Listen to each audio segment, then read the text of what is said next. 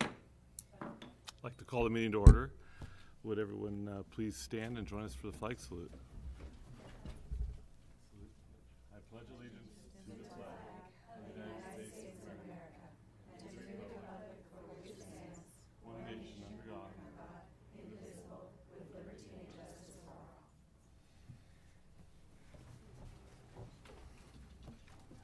All right, welcome everyone. Thanks for breaking away from a nice summer evening uh, to join us. Um, I'd like to, we'll start out with the approval of the minutes from our last meeting. Second? All in favor? Aye. And uh, item number three is the approval of the agenda and consent agenda. I move we approve tonight's agenda and consent agenda. I second. Roll call? Alicia? Aye. Andy? Aye. Terry? Aye. And I'm aye. Okay. um, We will move on to item D, public interest reports, presentations, action.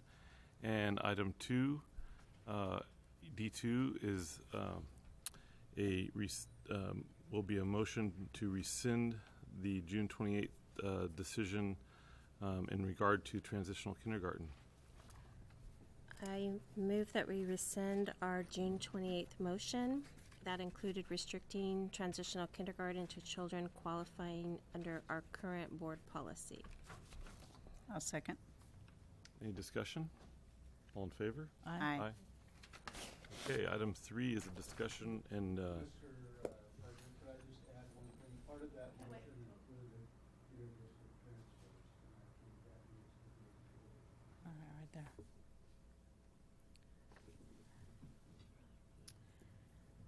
Okay. Okay. So let's read the whole thing then. Let's, we'll, we'll, we'll do a do-over. Can we get a Okay. do-over? You want me to read? Yeah, go ahead and read that. Okay. Um, At the June 28th, 2016 regular meeting, the board approved a motion to maintain the current board policy that limits transitional kindergarten children whose fifth birthdays occur between September 2nd and December 2nd.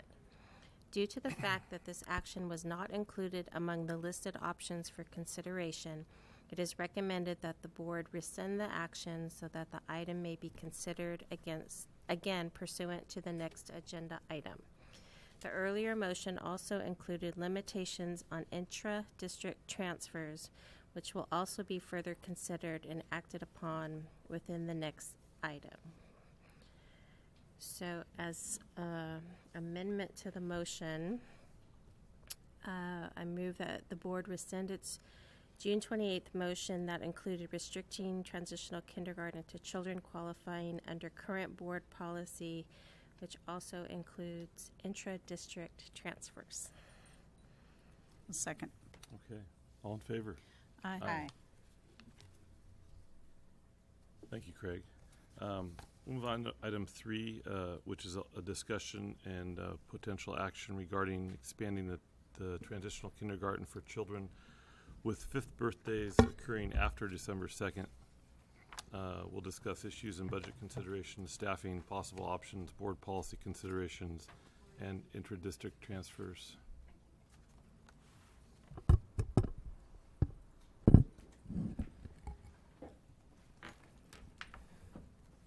Good evening and thank you, trustees and um, community members, for the opportunity to take a step to the side for a moment and um, present you with some basic preliminary information. Some of it is going to be redundant for some because um, those of us working in it day to day um, understand it and, and we're hands on. And for the benefit of the community, I thought it would be important to just um, provide some basic facts and information so that we can then move forward with your discussion this evening.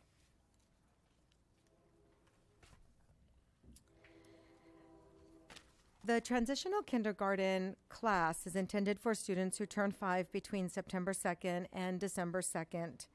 And this is a result of the Kindergarten Readiness Act of 2010, which went into full implementation in the 14 15 school year.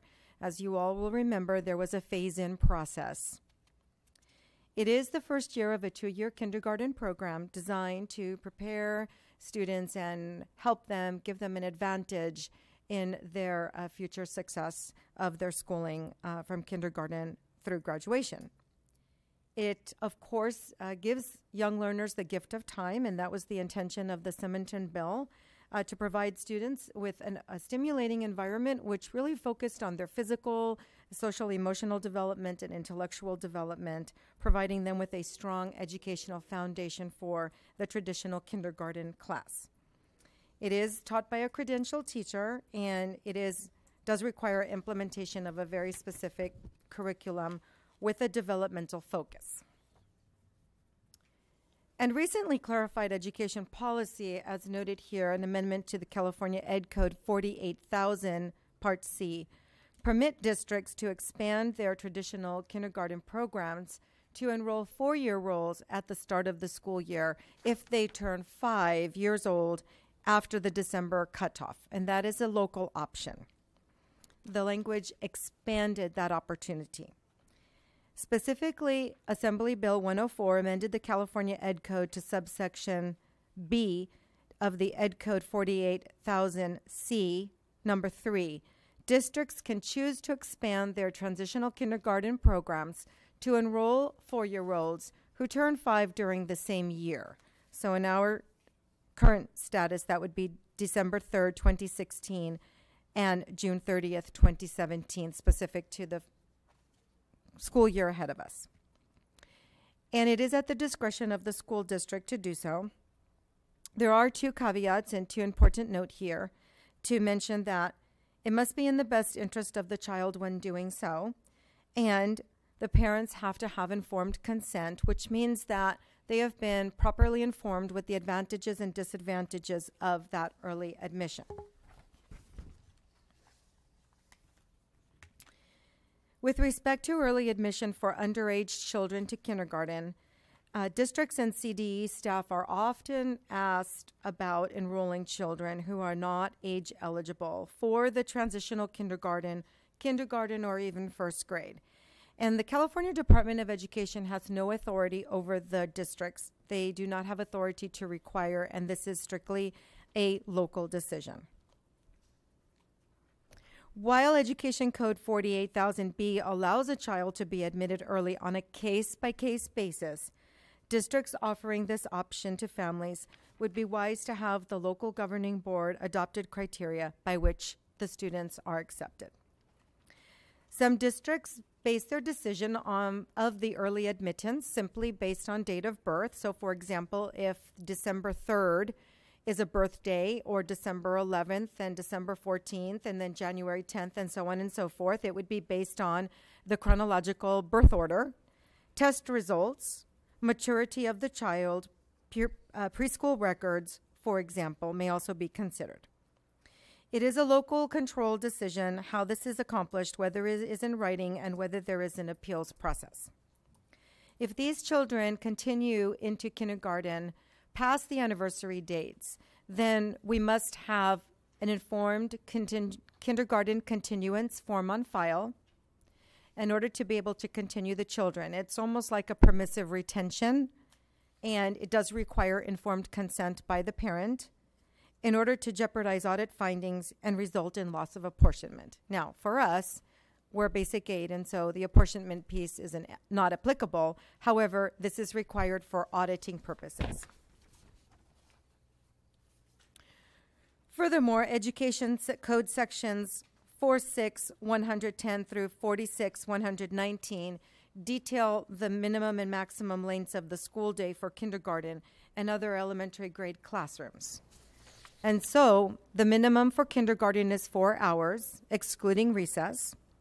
However, recess time can be counted if a certificated teacher is supervising the students and the students are under the discretion of the credentialed teacher at that time. If we were to operate any TK programs less than the kindergarten program length of school day, it would require a waiver to be submitted to the State Board of Education. So that's very basic background information to ensure that we're all operating with the same information.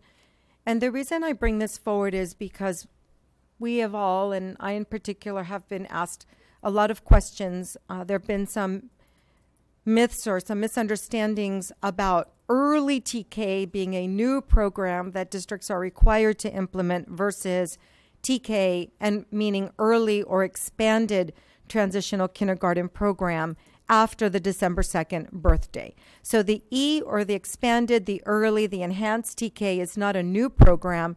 Rather, the Ed Code was amended to allow districts to admit the students after the December 2nd cutoff. Pertinent to our local administrative regulation,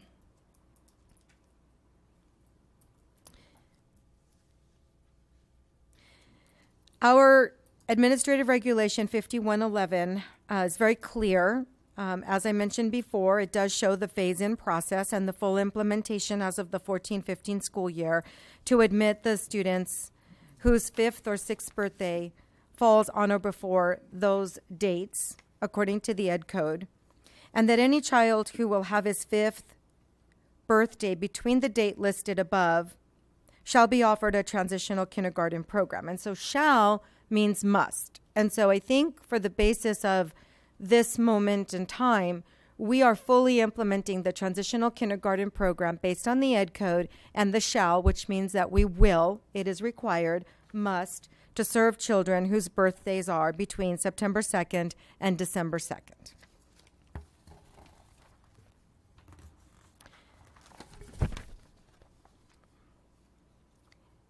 Furthermore, Administrative Regulation 5111 for transitional kindergarten goes on to say that on a case by case basis, a child who reaches age five after the date listed above, and that was on the other slide, September 2nd through the December 2nd, may be admitted to kindergarten at any time during the school year with the approval of the child's parent guardian, provided that one, the superintendent or designee determines that the admittance is in the best interest of the child. Two, the parent guardian is given information regarding the advantages and disadvantages and any other explanatory information about the effect of early admittance. And three, the superintendent or designee may also consider availability of classroom space and any other negotiated maximum class size, which refers to our bargaining bilateral agreement.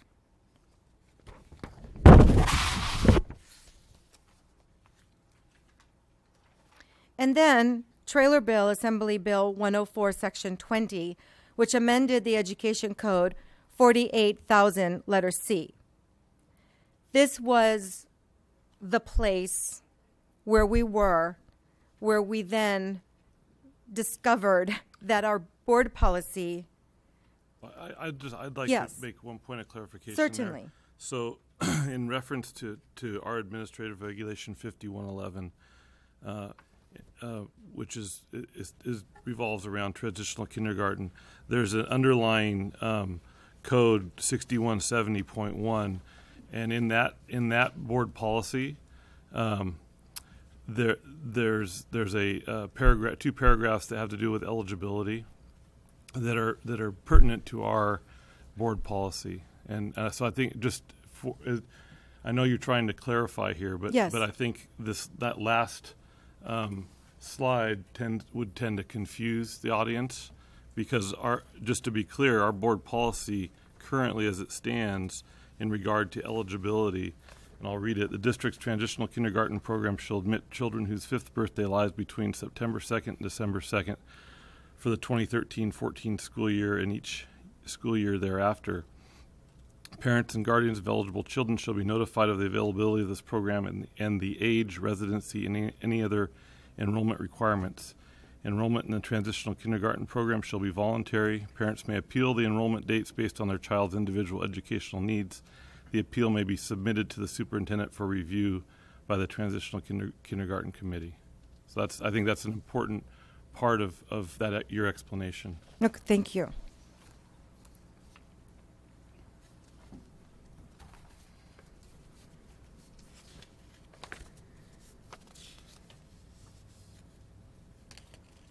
The Trailer Bill Assembly 104, Section 20 amended the Education Code 48000C, which then changed the language from the superintendent or designee to the requirements of the governing board to make a determination that the admittance is in the best interest of the child. And so then, at that point, if the governing board so wishes, the superintendent or designee makes the recommendation regarding whether a child should be granted early entry into kindergarten. And in doing so, the superintendent or designee shall consider various factors, including availability of space and any other negotiated maximum class size.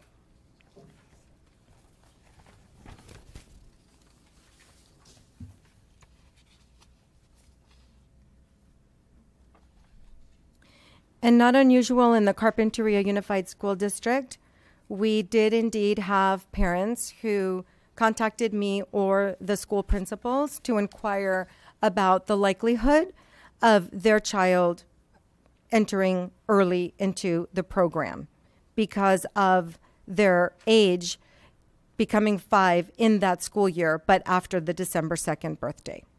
And so we did so with the utmost confidence and willingness to work with our families. We did so for instructional purposes. Um, we are educators, we are teachers, and so we did that and met with families, and there were principals and teachers at school sites who worked with the families and, in some cases, denied the readiness based on some assessments and conversations with the parents. And then we had the number of students that we presented to you at the last board meeting, which ended up necessitating the conversation of adding, expanding, or including one full time equivalent. Shalene, how many were Yes. denied? Oh my goodness, I, I don't have that, but um, I know that Jamie Pursoon is here. If you would like, perhaps she could respond to that question.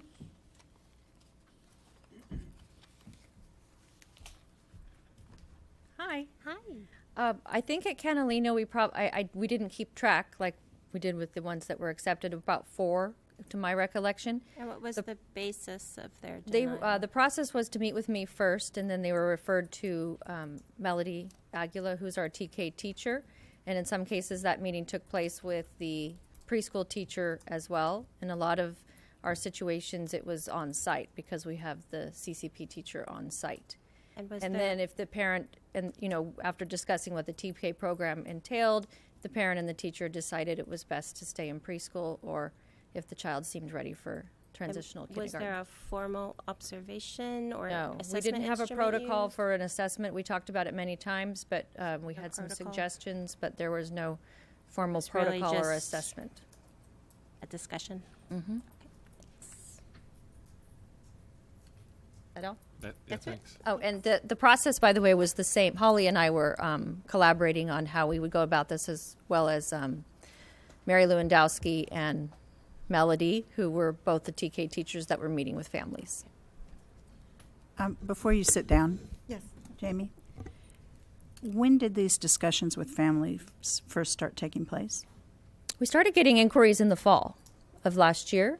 Um, and so we started doing discussions and meetings probably around January. Uh, official kindergarten registration, I believe, was February 22nd, um, started this year, but we began to have the inquiries far before that. Um, and I think we communicated with families by letter sometime in March. Thank you. So was, I'm sorry, um, since you're here, was there any consideration that, that those four children that were denied could mature in the next eight months before? You know, I wasn't part school of those meetings that went from Micheline to me to Melody and the parent and the preschool teacher. But I, my understanding was that the, the, the parties came to a mutual agreement that this was not a program appropriate for the child, but far more children were accepted than were not. Okay.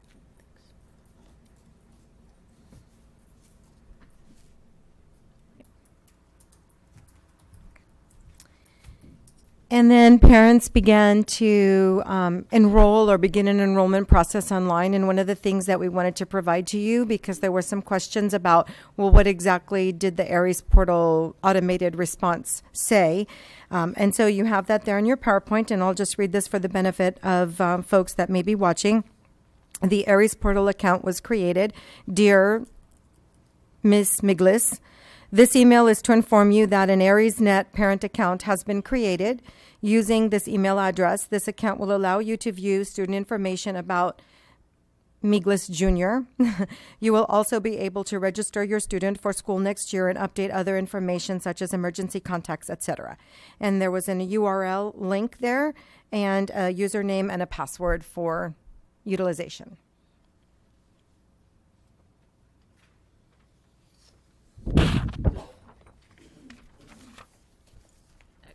I'm gonna. sorry, Yes, that's what- certainly. So, w- did any families complete this process? And M- Mari, Mari um, has indicated that beyond this, they did not go further. Is that correct, Mari? So this happened, but not the rest of the steps, according to staff.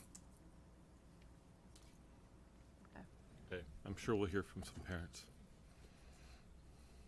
Well, and I'm going to want to hear from um, our attorney. So we have time to do that still, but Great. And now, um, what I shared in front of you um, earlier before the meeting started was um, a list. And I want to just review the list that you have in front of you so folks know that we are looking at a roster. It is confidential in that there are no student names. However, we sorted the children uh, by their birth date. And what you have in front of you is a combined list of students from CCP. And Maria extends apologies. She is officially on vacation, although she was very involved in our in house planning meetings for this presentation. Um, so she was right there the entire time. In fact, um, she once again um, overdid her work and sent to Jolene and I three separate emails of potential contingency plans being prepared, um, which we know her to be, and very thorough, uh, pending the outcome of this meeting. So I just want to make mention that she did work really hard to help us and to be part of this, even though she's not here tonight. So the list that you have in front of you, one page, shows list by date of birth and the date of birth that is identified in an italic font are the students that are currently enrolled at CCP and those that is not in italic font are the students that are in our purview. The reason I bring this forward is to show you that if, and we don't know this, a student would deselect the CCP program to come to us, that then if we sorted the students by date of birth, this is what our roster would look like. But we have no way of knowing. Now, Maria did extend and contact to the best of her ability, and she asked Jamie as well for contact information. Um, some folks' numbers have changed, and we didn't have current information. And some of these students actually told Maria, at least verbally, that they intend to stay at CCP. The issue is this is the best information that we have available at this time. Okay. So, with that in mind, I'd like to ask our CBO, Maureen Could I- Fitzgerald. oh, I have a question on this Yes. list. I see you have school of residence, but there's a number of um, children that don't have a school of residence. Why is that? Um, well, that was uh, information. Those are probably all the students from the CCP, and that just was not provided to us. Those are the italics. So we don't know where these children live, whether they're That is correct. district students or not. Correct. Well, they're district students. We, We just, don't, know, their school of residence. which school of residence. they all live here in Carpinteria. Yes. Okay.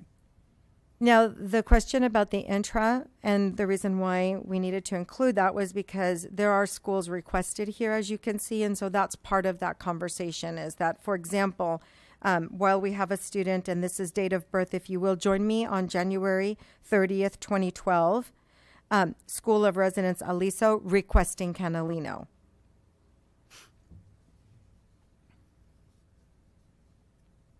which we would not necessarily need to approve if we were to be at that point. Okay. So we have students with birthdays ranging from December 6th, 2011, all the way through June 8th, 2012.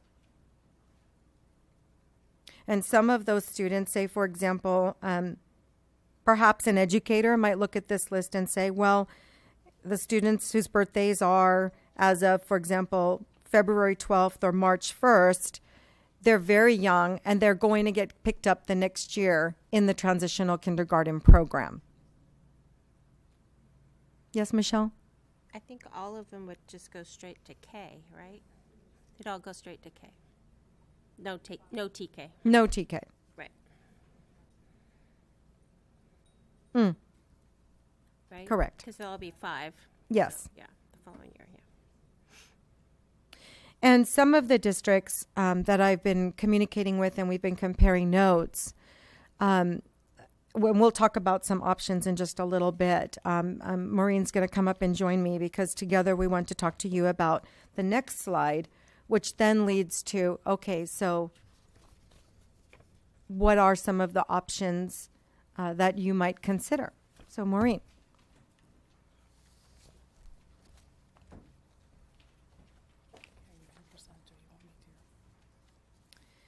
So, one of the options, of course, status quo is an option for everything all the time. And so we listed that here. Um, option one, oh, I'm sorry. Let's, let's begin with the current numbers. And what you have in front of you is the breakdown of the roster. Um, current, new students, those that would qualify from CCP, and the opportunity to fill open seats that are currently available.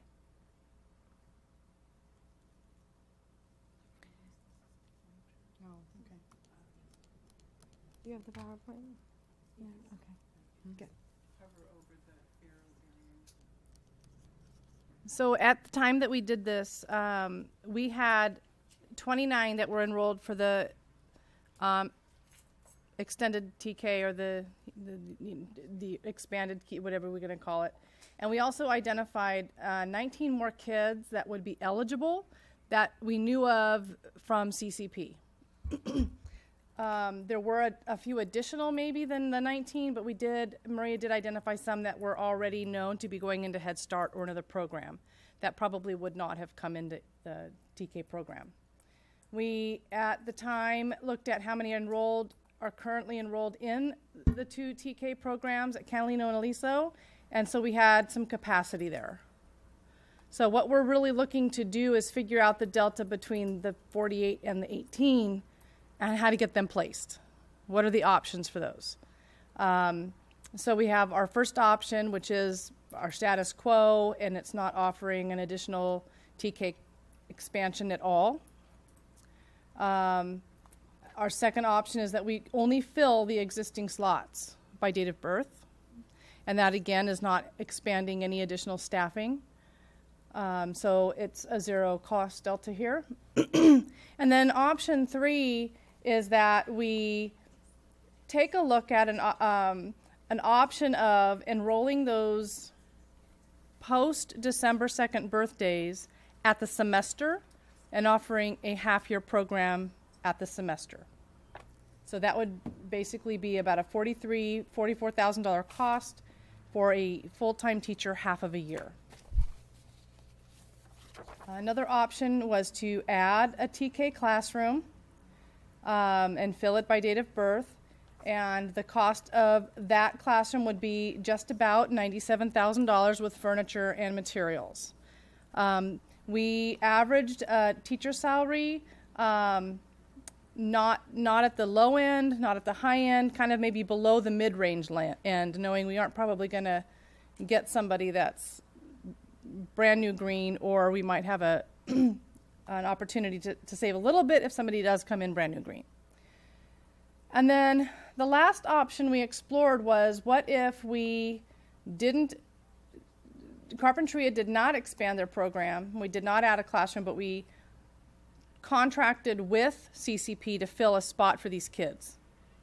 So the cost of that was going to be um, two five-hour a day teachers because as a then they'd become preschool.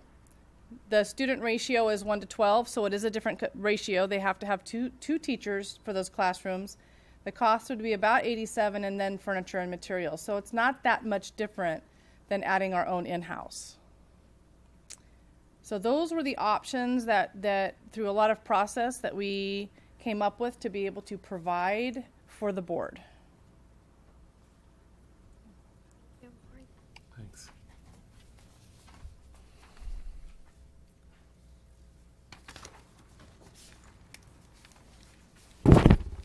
We want to provide time for discussion at this moment. Um, some considerations for clarification, options, recommendations, and, um, you know, ask how staff can um, implement um, your, your will based on our recommendation. I'd, I'd like to hear public comment first. Certainly. Discussion.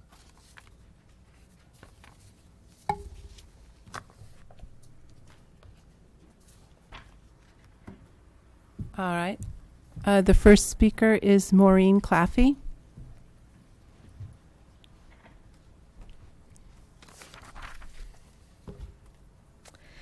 Hello, thank you. Um, I want to just say, first of all, that I'm here on behalf of about four other families um, and my husband as well. Um, he's home with our sick child, and and the rest of the families couldn't make it because of their other obligations. So imagine me with five other, four other adults around me.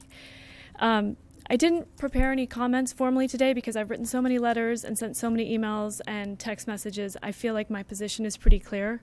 I want to thank you for acknowledging the Brown Act violation and rescinding the previous act. I think that's really important. It, it, it kind of rebuilds some trust there. I think the only thing left to do now is to is to bring these children into the classroom. 28 families. It's not a lot to ask. You're repaving roads, you've got Measure U money, you've got rainy day funds. All that's lacking is the will. And um, speaking of vows, today is my eighth wedding anniversary. I would much rather be out to dinner, but I'm here because I have a commitment to my daughter, which is stronger than any commitment I have to anyone or anything. And that commitment says, I will do my best for her. And I, if I promise her something, I'm going to do my best not to take that promise away. And we were promised TK to her. And I don't care about the blame at this point. We could point our fingers every which way. I want action, I want leadership, and I think my daughter and these 28 families deserve to have their children be given the promised education that they asked for. Thank you.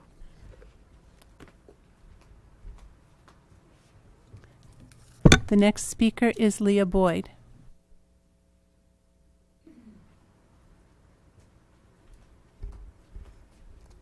Hi, everybody. Thanks for um, thanks for putting this on the agenda. Thanks for hearing us again. I won't go back over all the comments I had last time. Um, I mostly want to thank you for for having us, and I want you to consider these 28 kids who could be leaders in their kindergarten classrooms, would then be leaders throughout their entire school careers, and how much positive effect that will have um, on the school district. Um, I, I do have a question. I'm confused by the eighty-seven thousand dollar salary for a TK teacher. Um, I obviously need to get into teaching if that's the going rate. That, that, That's that, salary that and includes all the benefits. Oh. You know, there's, there's about almost I- I still need to go into $19,000 in teaching then. healthcare, And there's all Wow. the, all the STRS and the PERS. Would gladly take you. Oh, thank you. all right. Um, well, that was my only question. Thank you so much.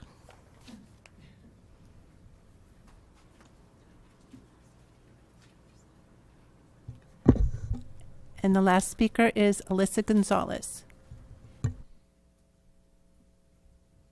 I'm not going to go over everything I went over last time. Um, a quick note, though, that our family, we actually came into the school office and were told to enroll our son in the TK program and that it was extended. So I think that's most wholeheartedly myself. I had been holding a spot with him for his other care spot, and I lost that on account that I was told enroll him, and it was a confident enroll him a week before you guys made that decision. So for me, it's what what happened. Um, so I think that's our, our our family's main concern is the being able to trust in the honesty of that. Thank you.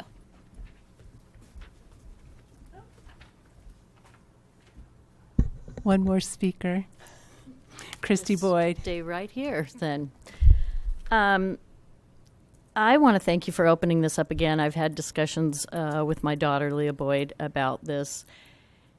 And I have not been that involved until now, but I, I, I'm coming in from a more objective standpoint, and I do feel like uh, I feel like this community really stepped up with Measure U, and I feel like they said education is important to our community, and we are willing to do a $90 million bond. And having been on some fundraisers, I know that's a lot of money. And it feels to me, and I've heard this echoed from other people, that if the community is saying that to you and now giving you the funds for new computers, new roofs, and that kind of thing, that your budget should be able to include important programs like the TK program. You have signs saying Thrive, uh, Cradle to Career. I think that in order to back that up, you need to provide programs that are really giving children the ability to become part of this district. I know there's a lot of flight from this district. I feel that the Spanish immersion class was denied. Now this TK thing is up in the air, and I, I feel that there's a lot of young families here that are, are feeling that there's not a lot of give with the board, and that they're not being proactive enough, and and could then further this flight from public schools. And it's important that you get a real broad base of students here and parents that obviously care very much. They're here in the middle of summer to advocate for this program. I, I did work for CUSD for years in a program called the PIP program, which, a which was a primary intervention program. It was a great program. And one of the tenets of that program was that students really need to feel good about their very early education and the school that they're part of. And I think by getting these 28 families or more involved in this school district at this young age, you're creating that sense of, of importance of education for these families. The PIP program kind of foundered as as grants do, but it it really made me realize how important these early years are, and I think this TK program can really help foster that importance of education, not only for the children, but also for these families. These are young, struggling families that really want to be part of a public education. And I think it's important that you listen to what they're saying. Thank you.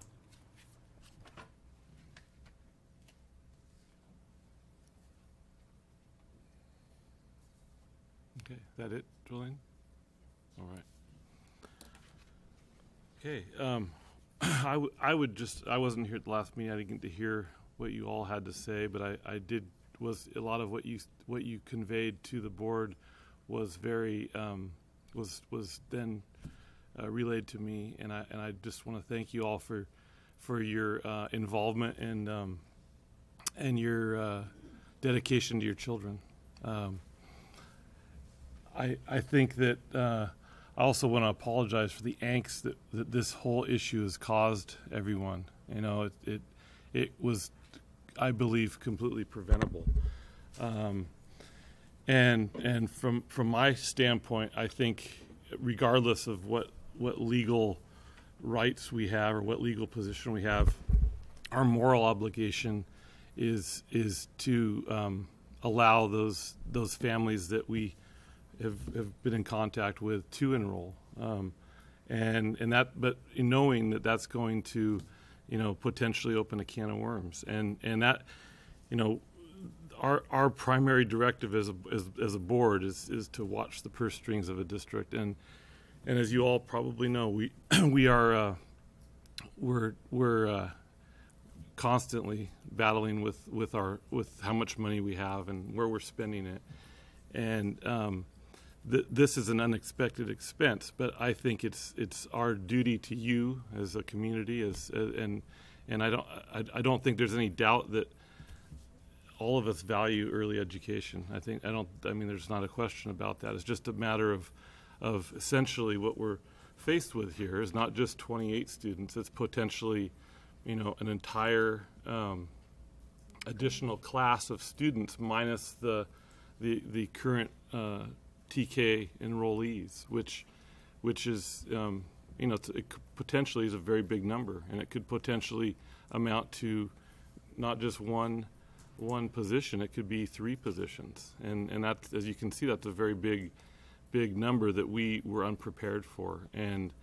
Um, you know, as as to our decision in our early June meeting to to um, you know not move forward with the program. Unfortunately, that was the very first time we had heard that we were extending the early TK program, and and and that's why I want to apologize because it should never have got to the point where where where families were told they were enrolled, and uh, without us actually having the opportunity to to uh, to review the the parameters, the eligibility, and the and the costs associated with that. So it it, it was a, a disservice to parents. It was a disservice to our staff because I know they've spent an awful lot of time, um, you know, that they could spend on a whole lot of other things. Um, and and I, you know, it's taken away from you guys, and I'm sure it's caused a lot of heartburn throughout the summer that you certainly didn't need. So um, without, you know, I know there's you guys have got some comments as well, but um, my, my feeling is that that we need to um, we need to allow uh, basically extend the early uh, early child or early TK program. It, it for for one year. I, I don't I, I don't think we I think we need to revisit it, and and um, and then at at some point between now and the end of you know December, we need to establish a certain uh, protocol, some eligibility that that we can apply for years moving forward. Um, but that's you know that's kind of where I I'm standing on the issue. I don't know where everyone else is. You want to go or? No, you can go. Okay, so um, just to reiterate what Andy said, I mean, we, sitting up here, sincerely apologize that um, this happened. Um, like um, you said, it's it's beyond the finger pointing at this point, and and we we want to do right by by you guys, and so um, I'm in agreement that we need to figure out how we're going to serve um, the families this year and then and revisit. I'm I'm very concerned that um, decisions were made without a protocol in place, and so um, I I think in all fairness to those four families that were denied, I mean that that also has to be relooked at. Um, I'm curious of um, what advantages and disadvantages were relayed to families about this. Um, again, as an early childhood person, um, you know, a, a, a year's difference between a four year old and a five year old is massive, and in, even in terms of months, the, the readiness and maturity level. And TK, um, as much as I'm a big supporter, is a different quality than an early childhood experience. You're going from one adult to 24 children alone from a 1 to 12 or even a 1 to 8 depending on where you know you're coming from and so a child who's not ready um, it can actually do more harm than good and so um, but again that's a case by case basis um, but without a protocol in place it's hard to uh, really know if uh, if a teacher has observed a child for 30 minutes as compared to some formalized assessments. But off my soapbox, um, I agree with Andy. Um, this year only, we need to uh, look at honoring the promises made. Did you want to say something? Uh, yes, I did. Um, so just working locally in the community, I know that your magic number of 28 is not 28. And so, um, my only concern is when um, Jamie you were discussing how the interest was sparked, and that's how this whole ball got rolling, from what I understand. So, if we do go through with this, I would like it to be advertised as well as you know the Spanish dual immersion was, and to have. I know we have we're working on a short time period here, but to have those students of the patients that I serve in Carpinteria have the same opportunity that these 28 students have to to apply, to enroll, to have a policy as stated by that um, board policy that you have, Andy. It specifically cites a TK committee, and do we have that currently? I think you read something about a TK committee, and who is that committee comprised of, and what are they using for their evaluation tools? Because I believe that's very important.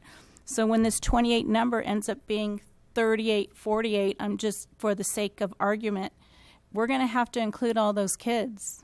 And I agree with Michelle that those four kids, whether it was four kids that were, you know, put by the wayside versus 14, we still need to include those kids for this year and figure out what we're going to do for next year. So when we talk about the $120,000 that it was going to take to pay for childcare for the 28 families that aren't going to be able to um, enroll in our new extended TK, I think we need to include everybody, and and that's what you know. Where our concern is what Andy said that we might be opening up a bigger situation here as far as space, as far as teachers, as far as classroom sizes, and um, I do agree that we did that whatever the finger pointing, whatever um, got us here to this point, we can rectify that by agreeing with Andy and Michelle and going through with it for this year, but really doing it the right way and not having the cart before the horse as it was just in the past few weeks. I think we need to stand up proud as a community in Carpinteria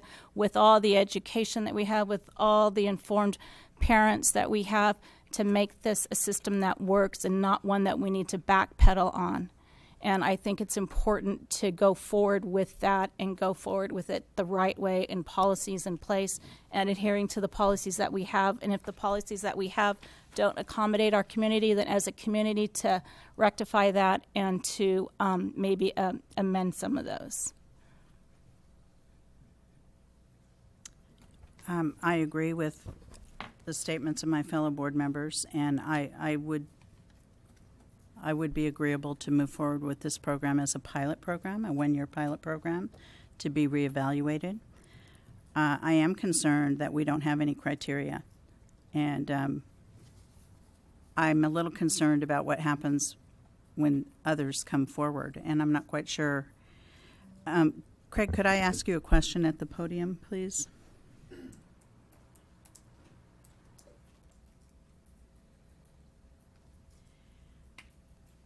So, if we um, initiate this pilot program and have families come forward, um, is there a time frame by which they have to do that? Can we designate a time frame, or if they come forward throughout the year, do we have to consider, just as we would with a student that comes to enroll in our schools? I think at this point you have the option to impose a reasonable timeline uh, that would, for example, take into account Alicia's comments about making sure there was ample opportunity that was extended to others that may not have gotten to the point. But you could certainly um, have a cutoff point. Uh, and I think that uh, you could direct your staff to administratively develop written criteria that would go beyond the process that was followed at both uh, and Aliso with respect to uh, the discussion with the parents, the advantages, the disadvantages, and also what the evaluation process was to consist of. Obviously, if we were at square one and you were talking about the possibility of implementing this program, say, back in January, that would be something that a considerable amount of thought and attention could be given to. But, you know, we're almost in the middle of August, so um, it's unfortunate that it has to be a rush job, but if it's going to be opened up, then those criteria need to be developed um, post haste. And I just don't think that there's time to bring it back to the board for you to uh, review what's being presented as opposed to having staff take the guidance that was included in Micheline's presentation tonight uh, and the guidance that comes from the CDE in terms of best practices. We can also look and see what some other districts have done, which is available on the web. Could I add one more thing that I just think is important, especially for people in the audience? Um, when this issue arose at your June 28 meeting, and you took the action that you did, I don't know if it's entirely clear that, um, to my understanding, the board was not aware of all these children that were in the pipeline. And so you had little idea, no idea actually, that you were doing anything other than making a determination in the first instance that on account of budgetary issues, et cetera, that this was not the prudent thing to do. You had to balance that. And it was in the aftermath of that when everybody learned that there was a tremendous amount of concern due to the fact that so many families had been encouraged by the district and committed themselves to this process. And once that occurred, and I think this is a very important point, um, the district, the superintendent, and the board acted on their own to say, you know what, we're going to reconsider this whole thing.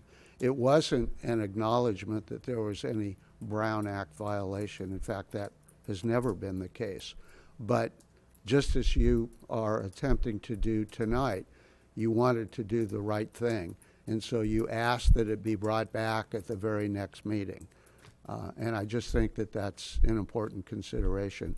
As is the fact that it sounds like the decision you're about to reach tonight isn't based on any legal requirements or compulsion that you may or may not have to do anything, but rather, once again, on wanting to do the right thing and to support the community.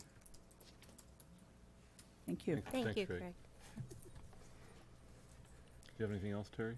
Mm, I don't think so right now. I, I would I would just like to respond to one, a couple of the comments out there that really had aren't really that pertinent to the to our action tonight, but just to, as a point of clarity, um, you know, we don't really have a big rainy day fund. That's that's there, there's money there, but it's it's um, there's there's deferred maintenance money and there's and there's uh, a little bit of reserve, but it's really not designed for for instances like this. Uh, as far as Measure U goes, um, those monies cannot be used, and they don't really offset any any um, salaries or, or teacher positions. Um, they're solely for capital improvements. Um, they don't even cover deferred maintenance, meaning you know just normal wear and tear. There's a there's a separate fund for that that has to be applied. And then as far as uh, uh, the technology, uh, Measure U dollars cannot be used for for computers. Um, we we can put in wiring, but that's about it as far as technology goes. So, um, th- this this I just want to be clear. I, I believe we, we need to do this, but it is going to be a hit to our budget, and and um, uh, but I, I I truly believe it's the right thing to do. It's by by the families that are It's the ethical thing to do. It's the ethical thing to do and, and moral thing to do. And, and I, I um, um, you know, uh, once again, I just I want to apologize for the angst that we've we've caused you all. Um, and and you know, I really we do value uh, you. w- w- You know, you're the very families that we want to retain in our district, just just like Christy said, and and because we know you're going to be involved, and we know you're going to be participatory, and um, uh, not that all families aren't important, but but um, it's it's good to have people uh, that that are that involved in that caring. So thank you. I would like to add to your comments about the rainy day fund that we actually don't have. Uh, what what we actually do have and know that we have is a is a structural deficit. So we are already uh, have adopted a budget where we know we're actually spending into that uh, reserve that we have, And we did that knowing that we were going to have to make cuts this next year in some of our programs. So, um, you know, it, it's it's a real tough issue now because now we'll have to consider deeper cuts. So it's it's a it's a quandary for us, and you know it's it's tough. That's what we have to do is balance our dollars, balance our budget, um, and make those tough choices.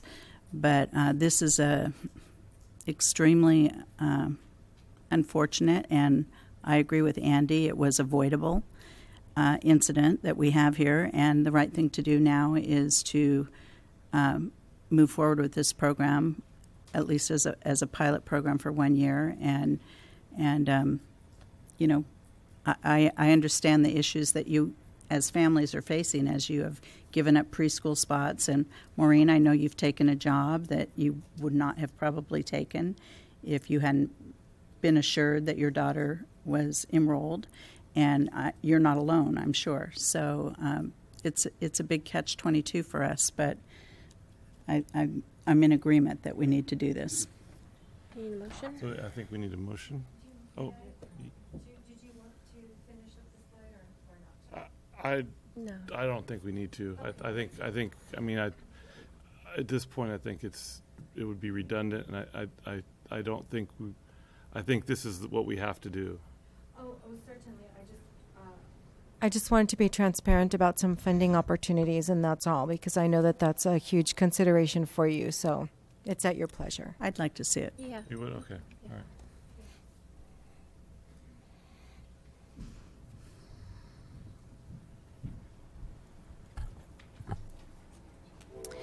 because we all agree that um, it is the right thing to do. And uh, Maureen, Darlene, and I, and Maureen, Darlene, and Maureen and Micheline have spent a lot of time over the fa- last few weeks looking at a variety of different options. And one of the suggestions is going to catch some principals by surprise. So I, I do want to apologize ahead of time for this comment. Um, but one of the things that we found was that we do have carryover in principal reserve that's moved forward year after year after year. And for example, for one year, we could freeze or capture some of that money to be able to support funding the teacher for the year for the pilot. We also do have um, some option through our Title I funding now that the No Child Left Behind is behind us, and we have a discretion to use that funding for early intervention. It's intended for student achievement. And in lieu of contracting with the Ventura County Office of Education for supplemental tutoring, we could use those funds. Again, it is restricted and it isn't something that we want to build staffing on year after year after year. We are in a structural deficit and your superintendent is never going to recommend to you to staff positions with monies that are precarious year after year after year, but that is another way uh, to look at this. And I know as a board, as a superintendent, we're very concerned about the structural deficit. Um, and that's why this is a very difficult situation for all of us to be in because we look at it from the instructional considerations as well as the fiscal considerations. Um, so, um, Mar- Maureen, are there any other options or ideas that we had um, shared that perhaps I've left out of the conversation to be transparent? I think those are the two main areas that we could identify. I haven't had enough time period, like even behind my belt, to really take a good sweep of the budget, and we're still doing our close. So, um, you know, I don't know that we'll even have enough of one-time savings to cover that kind of cost, but I do think that uh, the options that Micheline mentioned, the reserve is a carryover that we repeatedly have year over year. If we froze that one year, it would cover that class. Um, we could redirect the Title One, which is usually um, designated for SES, but that that's lifted this year to the early intervention program, which is would be an expansion of TK for one year. Anything beyond that, it becomes supplanting. So we would it would be a one year deal, um, and that would be offsetting the cost, not completely co- co- not completely covering it because there isn't that much money in that account. Um, and then you know there's a possibility with um, year-end close that we might find some enough one- one-time monies and ending balances that would cover the additional cost. So you know, that's really where we are now, not having enough time to get my hands around what really is in the budget. Can you uh, just refresh my memory on what the um, contract was with Ventura County? Yes, it goes from year to year, and what's expired, we terminated it, and we have not reinstated it at this time. So And those for again? For supplemental educational services based on Title I, No Child Left Behind for underperforming schools. And so those funds were taken, uh, the Title I funding from the federal government requires a percentage of that to go to professional development and a percentage of that to go to supplemental educational programs, which is intended to meet um, struggling students uh, for their achievement. And so we believe that for one year in a supplemental way that we could easily um, I guess, explain that students in early childhood education in an early TK program uh, would be considered an opportunity for them to shore up and be more ready for school because we know, as all research supports, that earlier intervention is the best. And so this would be in line with the early intervention versus the intervention in the upper tiers when now they've been in school for a few years. So I'm sorry, ha- we've, we've had this many coming in, Yes, ma'am. and what have we been using it for? supplemental educational service tutoring with the Ventura County Office of Education, and that has been the But practice where? for years Where? in our schools. Okay, classrooms, tell, tell After me how it's school. being used, please. I'm sorry. um, every year, a contract would have come to you to authorize Title I funds to um, pay uh, teachers or uh, part-time teachers or other staff that Ventura County Office of Education would hire to provide after-school tutoring on our campus. Okay, so we'd be giving up the after-school tutoring. You could do that, yes, because it's no longer required. That requirement has been lifted. It came out of the No Child Left Behind. Have we always contracted with Ventura? Yes, ma'am. Okay. For as long as I was able to look in records. Um, Jamie, you would know a lot about SES. Yes. Yay. Hi. So this we've only done it for two years with VCO. Um, uh, prior to that, we used there. There were private companies that come to a fair, and the parents of students who qualify for this program based on their test scores. At that time, it was the California Standards Test, and it depended upon where they fell in their um, language arts and math scores. And from that, they would go to this fair, um, and there would be people that give the tutoring. Um, we didn't find it to be very effective because we had a hard time getting results and measures from those providers, and it was happening off site. So sometimes it was happening at the library, at the Dahlia Court, Esquilita, or wherever these things were happening. Um, and Bob Keating ran this program until very recently. Uh, so a couple of years ago, we started to contract with Ventura County Office of Education, which was a much better model because we used our own teachers after school um, and paid them hourly, and they were teaching their own students um, in groups of about six to eight. Um, and then we would hire instructional assistants as well for their hourly rate. And it would be twice a week for 12 weeks. And that way we were able to really closely monitor not only the curriculum we were delivering, but also the results of that intervention. And at Canalino, Brandon Sportel was coordinating that whole program. Uh, they would go down to Ventura County and get trained. Uh, we had to turn in our weekly results to the county office of ed, so it was very um, tightly managed. That's only been for two years, however. Um, in, in terms of this proposal, which I'm just hearing right now, um, I, I think we are doing a really good job because of your gift of the reading intervention teachers at both, actually now at all of the schools, because we're going to utilize that for all of the students. We are already doing that during the school day, and in some cases, especially at Canalino, after school hours, those tutoring services are happening now. So um, it was in addition to what already exists in the last three years. Um, we have gotten much, much better at providing those additional services in small groups ourselves. Does that help? It- does, but um, because I'm trying to really grasp what we're giving up if we switch money Mm. from one place to another. Mm-hmm. So, am I? Did I understand you to say that it, you wouldn't feel a big impact if we were to? I think that what I'm saying is we're already doing that right now because you have taken it out of your budget to give us the reading intervention staff. um, that we didn't have four years ago. So you're kind of spending that money already in the reading intervention staff, and then I know at Canalino we're spending an additional thirty thousand out of site funds for more reading intervention staff. Um, so we have gotten much better as a system in providing systematic intervention for kids, starting at a very very early age. So this could be considered, I suppose, an extension of that systematic intervention at the TKH.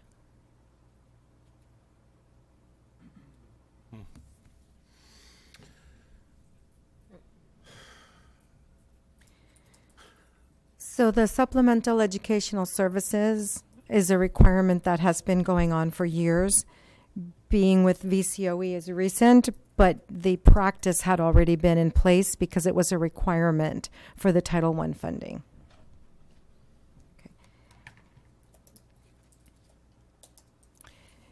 So, one of the things that would be helpful, um, unless you have any other questions for us as you deliberate and take action, is um, as our attorney pointed out, keeping in mind the timeline at this point in time and knowing that other districts um, have gone through the same um, situation with respect to how to qualify students and based on what qualification and eligibility that um, I provided to you some options in the presentation with respect to date of birth. Um, to help guide that decision. And uh, there are some other examples. Most recently, uh, we've been provided with the Tahoe Truckee Unified School District sample, which uh, spells out um, a survey element that we don't have and we would need to create. Um, to demonstrate socio-emotional readiness through a one-hour classroom observation, which means that we would need to coordinate that with staff and bring staff in, which we would pay them to do that. Um, complete a district protocol, which um, formally we don't have, other than kindergarten readiness assessments, for example, and perhaps some placement assessments in our adopted curriculum. And principal and teacher make the decision together um, keeping in mind that once the spots are filled, for example, that then we would not take any other enrollment. So we would also need to understand at what point we're capping, uh, because again, we don't want to come into a situation now where we have students that we don't have classes for and not enough FTEs, and now we end up um, in a, in the same place that we're trying to avoid. I don't know how you're going to avoid that once Yeah. it's opened up. And that's, I mean, because, I mean, y- there could be 20 kids that come in and bump out these people that were already promised. And so we, we can't, we Yeah, can't I- cap it I don't right now. you do that. Yeah, so, I also thought that lack of space isn't one of the criteria t- that can be used to deny admi- admission. that's correct. Is that correct, Craig? Yeah.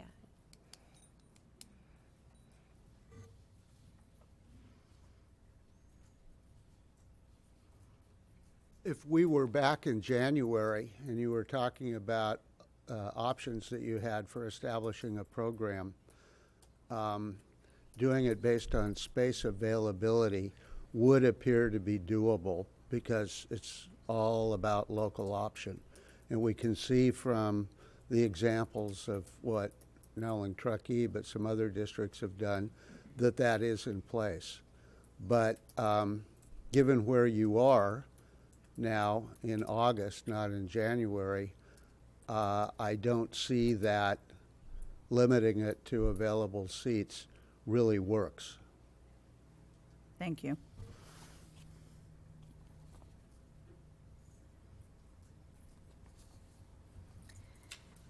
Therefore, in closing, um, we would just like to have clear direction from you then so that there is no opportunity to misunderstand or um, to not spend our time very efficiently and wisely, given the fact that we have school starting very soon and professional development week coming up and um, lots of um, exciting um, welcome backs and other events happening at all of our school sites. So, is there anything else, President Schaefer? Yeah, I think, uh, Yeah, I, I, I have some direction in designing the protocol. Yes. Um, so, uh, as Craig stated, we need the protocol ASAP. and um, so in that, here's what I'd like to see is um, the written advantages and disadvantages that are communicated to parents. Um, I want to see a clear differentiation between TK curriculum and K curriculum. I also want to know that if a child is unable to keep up with the curriculum because they ended up not being ready, that there is now an intervention plan in place for that child. Um, we're going to stay in alignment with the 1 to 24, I'm assuming. Right? Is that what our.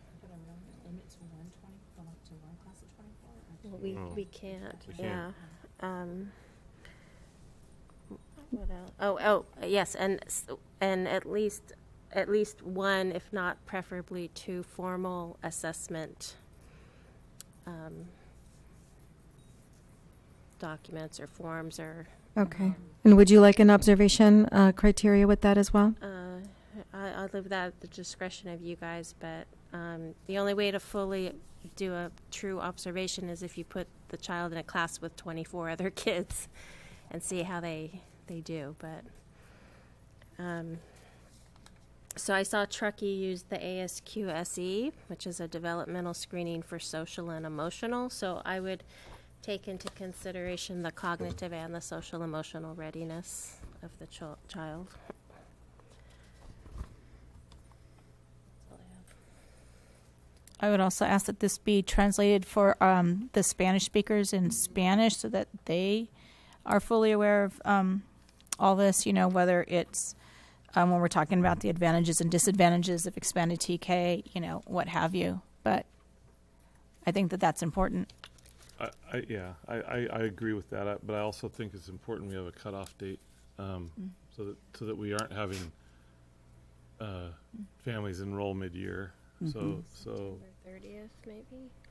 I'm thinking, yeah, because we're two weeks out, but What, uh, Craig, I'd like your advice on that. What, what do you think is a reasonable, uh, defensible period of time to um, allow f- for families to have time to, to learn of this and, and apply, um, and yet not leave this open forever? Let me ask a preliminary question. Would you expect to see the administrative protocol in place uh, well before I would say by the uh, the deadline? I'm assuming that you would like to see that before there's a cutoff in post. All right, so if today's the 9th, and uh, if it took, uh, well, could I ask the question about approximately how long would staff expect that the protocol would require for preparation?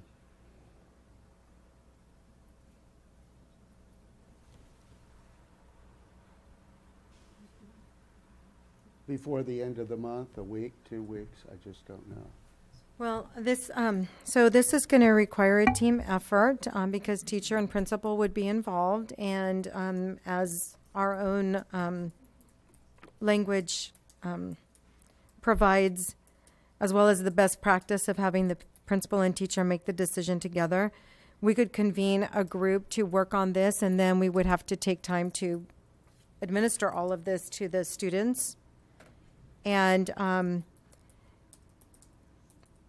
it's not my preference, but we do have the flexibility of um, starting the youngsters when they turn five, or from or sometime during that year. It does not necessarily need to be the first day of school, um, but we will we will implement your will. So if if you're saying to us you want the students that qualify based on these parameters, assessments, and tools to begin on the first day of school, then we will we will make accommodations in our schedule to make that happen. Honestly, I, I don't think you can do that with the ones you've already promised.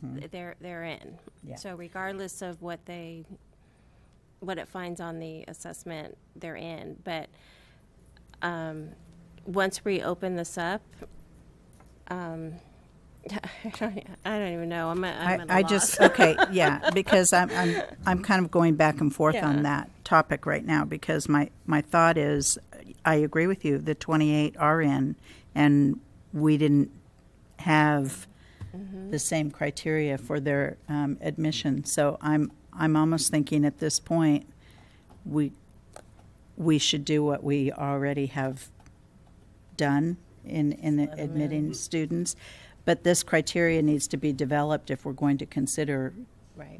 um, continuing this program in the future. But we still should, I think we should still have a cutoff date. I agree that we need a cutoff date. So I go back to that So- question. So, so, just under the assumption that, that we can't necessarily fairly exclude students based on this Criteria. criteria, um, because we've already admitted other students, then, uh, we should establish a, a, a, you know, cutoff date of, you know, mid-September, end of September, uh, Can you define what you mean by a cutoff date so I understand completely? and continue to accept new. families. Okay, but so the That- cutoff, So so we can't, so we're not gonna, sorry, so we're not going to, uh, accept, Okay. fa- you know, mid-year, not gonna December, we're not be gonna ha- get another family coming in with a. Continuous Perfect. enrollment. Door. Yeah. perfect. Yeah, so, Yes, and, and instructionally, that's not great for the student No, it's because, not. especially when they're not quite five and then they're coming in, and and their other peers are, you know, accustomed to the routines in the classroom, and now someone's coming in. But, but I think it is important that, because I'm assuming there was some sort of communication with families prior to the, to this, this episode where we, where we, uh, reached out to them and said they were admitted. So there was something where we went over the advantages and disadvantages of, of enrolling their, their Yes, that did take four-year-old in the place. The principals assured Okay, me so- that that so conversation that took should- place. Whatever we did there Yes. needs to be applied to any any new families. Okay. And then, do we want to say September 30th. September thirtieth? Okay. Well, I want to hear from Craig what he thinks is a reasonable amount of time. I want to make sure we Okay. give enough time. I think what Andy just said will work. Yeah. I don't think it should be any less than that. I'm assuming hypothetically that the, the written protocol, and I'm talking about the written part only, is developed by staff before the end of the month. That's three weeks. Okay. uh, which would then allow for what I'll call publication, for disbursement of the word, to notify the community in English and Spanish of the availability. And then I think a minimum of 30 days after that for accepting applications, Okay. either 30 or 45 days, and cutting it off at that point. But I think 30 would work. Okay. Sounds good. Okay, so um, I think we need a motion I- of some sort. I have here. one more question. Um, Really, I think it's, so, in your presentation, you talked about that um, if you were to have a day, a a day that is a different length of time in minutes than Yes. your kindergarten, you have to submit a waiver. Yes. Um, How is that done, and how long does that take? Um, well, in the infinite wisdom of the State Board of Education, we would then be placed on their agenda, and that doesn't usually happen as soon as we submit the waiver. So I'm concerned that that's um, probably not where we are this year. That ship has sailed. Correct. I Um, sort of figured that was going to be the answer, so we don't have any options for a morning and afternoon type program either. No, other than if you wanted to do a half day, half year program and then start another half year program. I mean, that's another creative option that's um That would be difficult to do, Yeah. considering we have a, s- a split TKK class now. at- Yeah, At Aliso. and you've already hired. And we've hired, I mean, it Well, would- you that would, will that have would be, hired. that would be logistically almost impossible. Yeah, it doesn't make any sense. So I, I think we really, you know, Yeah, okay, I, that answered my question, and that's actually what I thought I was going to be told. I just wanted to ask the question. yeah. At Canalino, we do have a full TK class just for clarification purposes. Oh, and okay, okay. So I, I just want to make sure that I'm meeting the needs. Um, what I hear, the summary that I've heard right now is that those 28 that were verbally admitted will be placed in our class, either fill existing spaces or open a new class to accommodate. That the protocol that was used, however it was used, is honored, and that um, the new procedure or the procedures that staff will work on administratively uh, will be available in Spanish. They will include written advantages and disadvantages, clear differentiation between kindergarten and TK, an intervention plan so that we can intervene earlier, 1 to 24, which is our goal, a minimum of two formal, uh, one to two formal assessments with a social emotional readiness screening. I'm sorry. We, sorry, we can't really cap it at 24. It's got to be in alignment with. Yeah, uh, it has Are to- there this- class I think, I think you're going over the criteria that Michelle put out, put forward. Uh, and I think we've acknowledged that we can't necessarily do that because we've already admitted these other students. So, so I think we, we, I think she's talking about class size and, and not numbers of students enrolled. I'm referring to the bilateral contract language just so that everyone's Class clear that. I'm not Okay. being capricious or arbitrary. okay, Okay. all right. Okay, so keeping in line with our adopted bilateral agreement for class sizes, um, and that there's discretion of the principal and teacher with respect to whatever observational protocol or combined efforts of reviewing all of this data. Again, this does not include those who are verbally already accepted. This is any new students pending, correct? Uh, it's my understanding you can't enforce this new protocol Right. because you didn't have it for the first 28. Correct. So this is just you're you're developing it because we need it in place. Going forward. Um, If, i- i- in, in. right now, the- it's kind of open with the- enrollment. If we, yeah, it's, it's open enrollment, but assuming, you know, the, you, we're, we're dev- trying to develop a protocol in the event that we continue or want to, want to adopt permanently a portion of this program or, or set some, we want to set some parameters that the board can review so we can be ahead of this. Okay, so that's like through this year Yeah, through in this year. preparation of next school year. Exactly. Excellent. Okay, thank you. I, I appreciate your patience with me through this.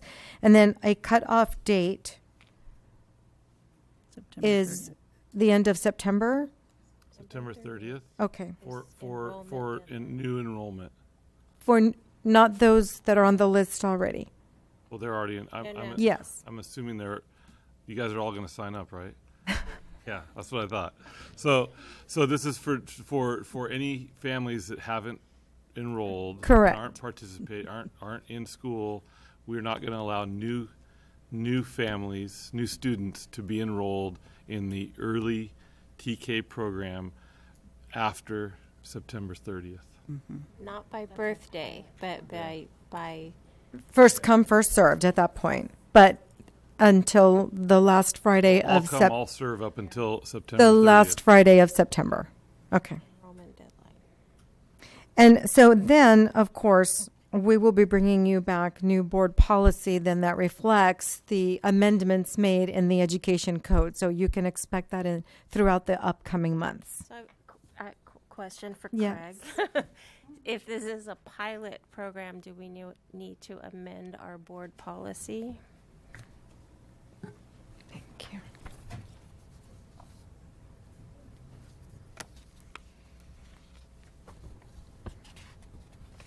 Currently, your administrative regulation, uh, 6170.1, limits TK to uh, children who have their fifth birthday on or before December 2.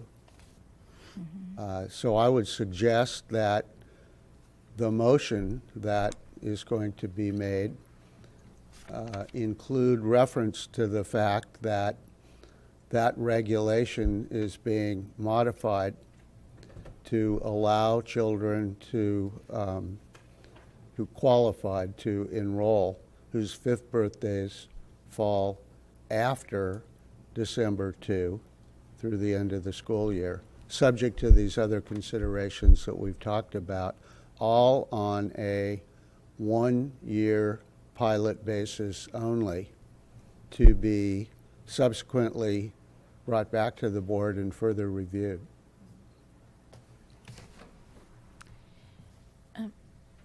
I just had a question maybe for um, Michelle. If we run a pilot program, do we have to have a um, a instrument of evaluation pre and post? Um, you know, that's it's a good thing to bring up. Thank you. So, as part of this pilot, part of the evaluation is going to be, for me anyway, how did these children do on the KSEP moving forward, and um, any kind of end of year summative.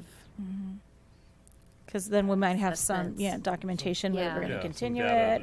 Yeah. Mhm. I mean, we know what the data shows, but I mean, but locally, for Right. us. So I wouldn't say a pre and a post, but we definitely need an evaluation plan in place as well. So basically, what did we do? How did we do it? And was anyone better off?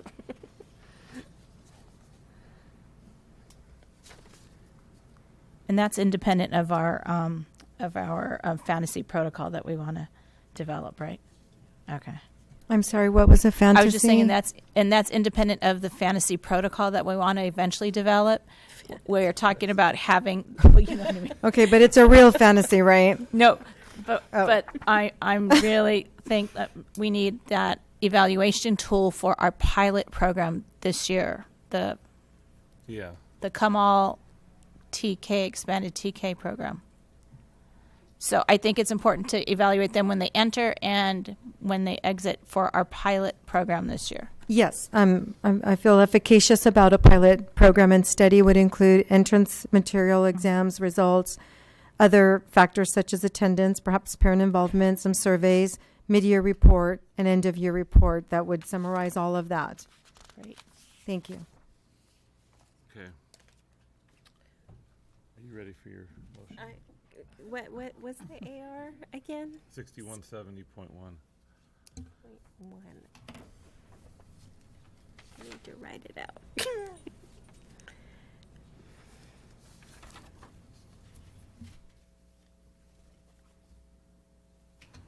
Would it be an amendment?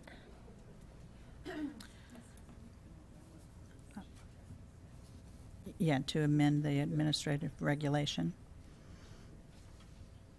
Okay, let me. You would, you would propose that uh, this program uh, go ahead and and subsequently direct that a modification to both sixty-one seventy point one and fifty-one eleven be brought back. Yeah. To the board for, for approval. The board Yeah. policy. Okay. So we don't have to amend it now, but we're, you just have to brought say that it- we're, we- we want to have it brought back to be modified. Do You have it? No, that's fine.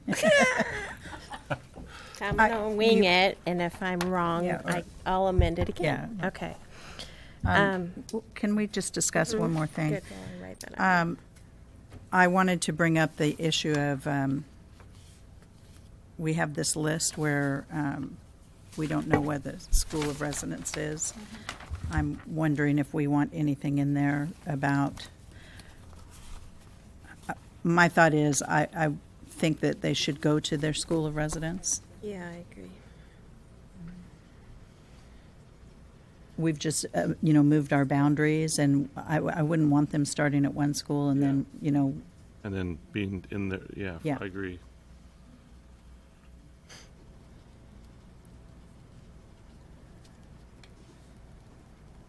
And just one more thing, I don't know if you want to do it by a separate motion, but you need to come back to the IDT issue. Interdistrict transfer, okay, based, from, from the July, or the, the, uh, June twenty-eighth meeting? Right, because Okay. IDTs were incorporated into that motion, so it needed to be rescinded. mhm. I don't think there was any real controversy about it, it just, I don't want you to overlook that you need to revisit that. okay. You can do it as a separate motion. Let's do that as a separate motion. Okay,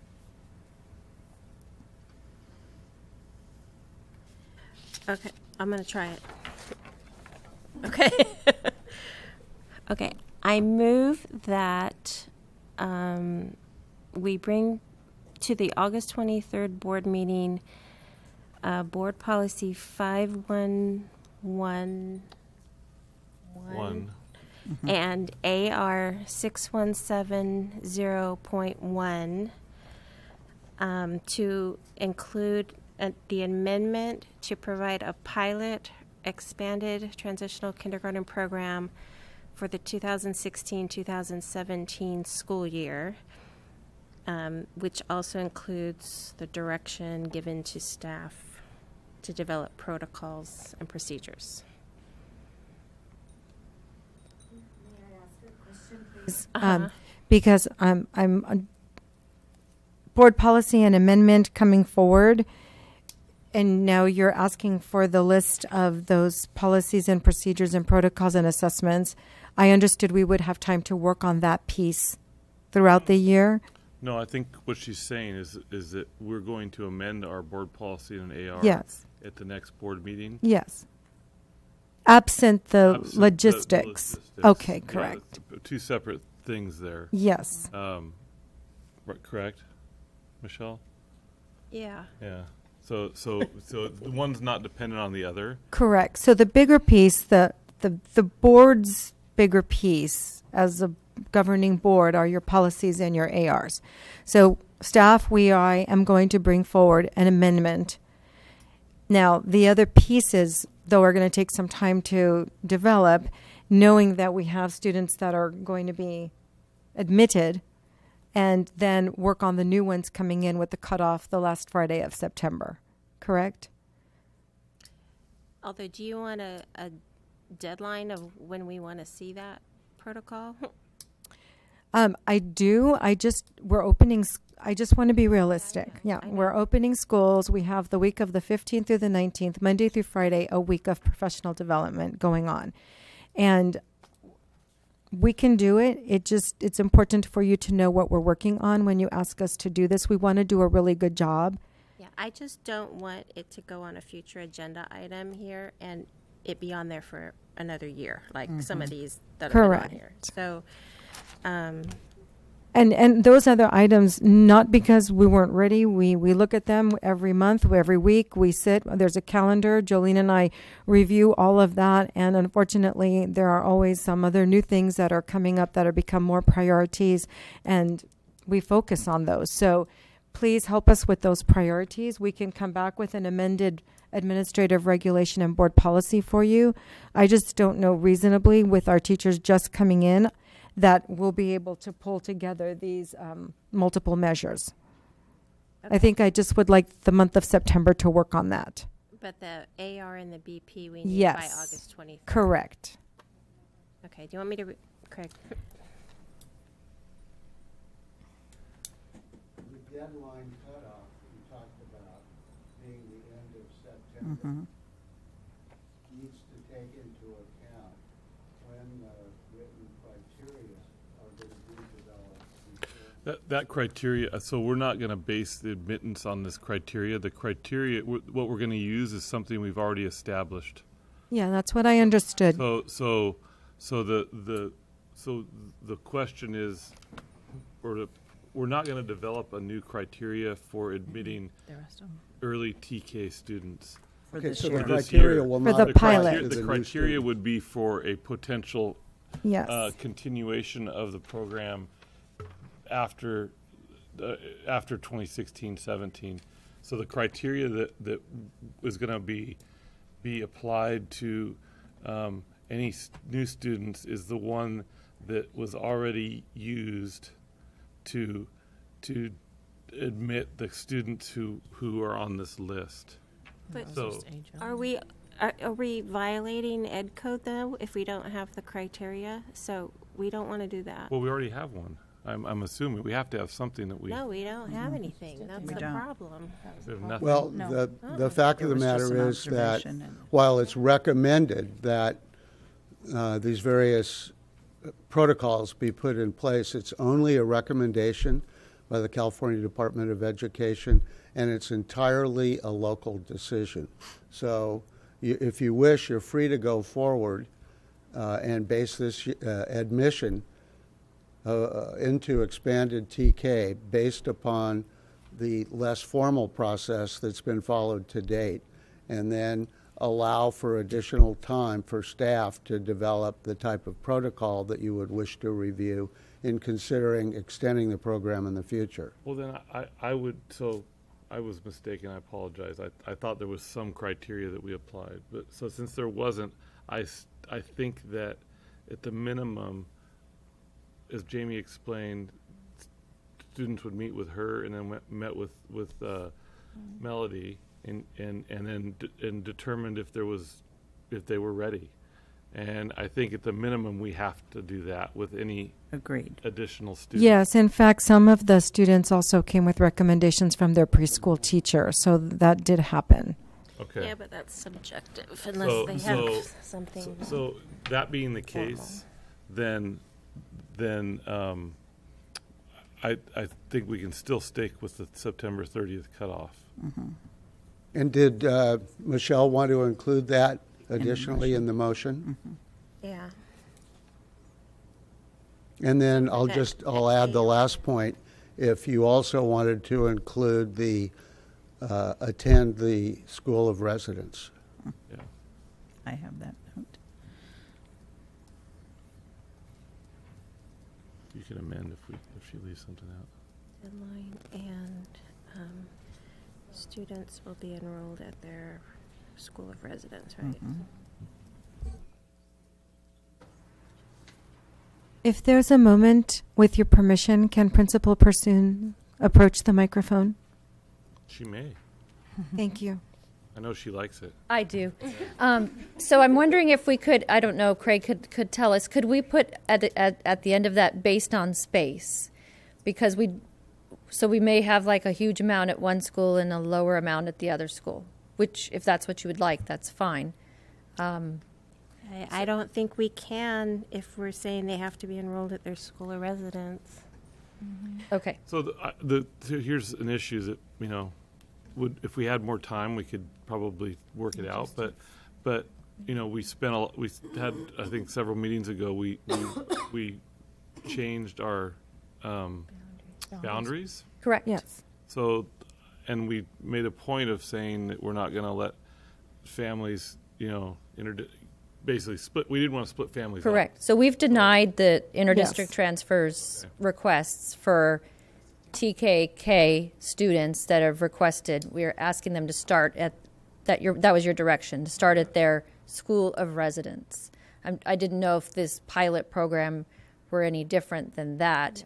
Um, a couple Well, of because it, because they're, they're, they're going to still be a TK student, and then they're going to go right into kindergarten. Right. next So a couple of years ago, we just had a TK, for example, at Aliso. Yes. And even if you were at the Canalino school, you went there and then back to Canalino for kindergarten.